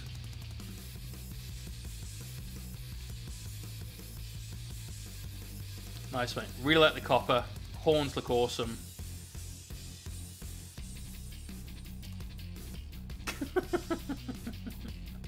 oh shit, yeah, there we go. Look at that. I think these are sick. I, I just think they're wonderful.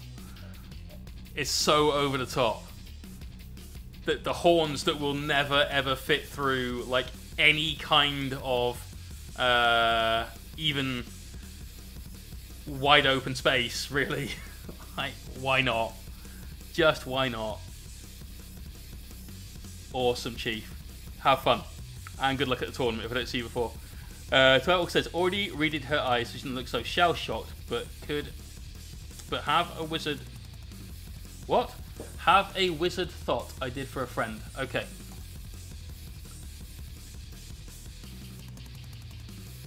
That's cool. We'll, we'll avoid the eyes. She's got walking eyes right now. Avoid those. Uh, good skin tones. The fact you've done makeup on her is actually really, really encouraging to see because normally it's just a case of well, we'll just pretend that it's just a normal skin tone and forget any semblance of uh, being a female from the neck up. So I really like that. The blue's awesome. The white's pretty good, kind of a dirty white, but it's still pretty good. Yeah. Good work, Chief. And I really like the little design you've got on the base as well. Just a nice little extra feature to help it stand out.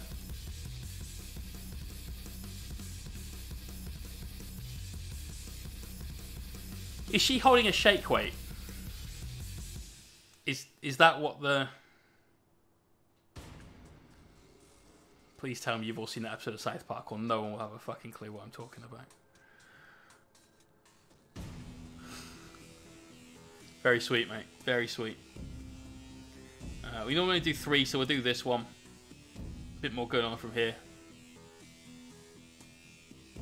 Yeah, that's nice. You could maybe get a bit more shade into that. Uh, the recesses on the sword where it's got the sort of serrated uh, edge. Then uh, Ask Reaper, yeah. Uh.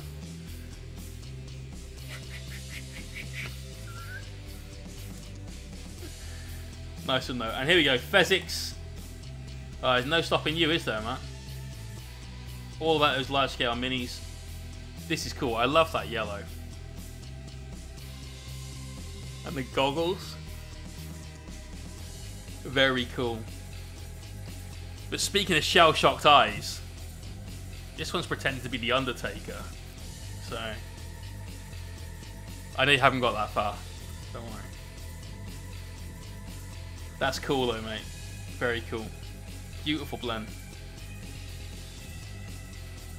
I really like those sort of Ray-Ban kind of uh, reflections. I know, mate. I know, I know. Looking good. Looking very good. Right, that is it. We are all whipped out now. So tonight, we repainted a shoulder pad because Nick is my friend. That's that's it. That's that's all we got. Uh, I will carefully thin and layer a few coats of matte varnish over that rather than mask off part of the minion. give it the old uh, tester's treatment.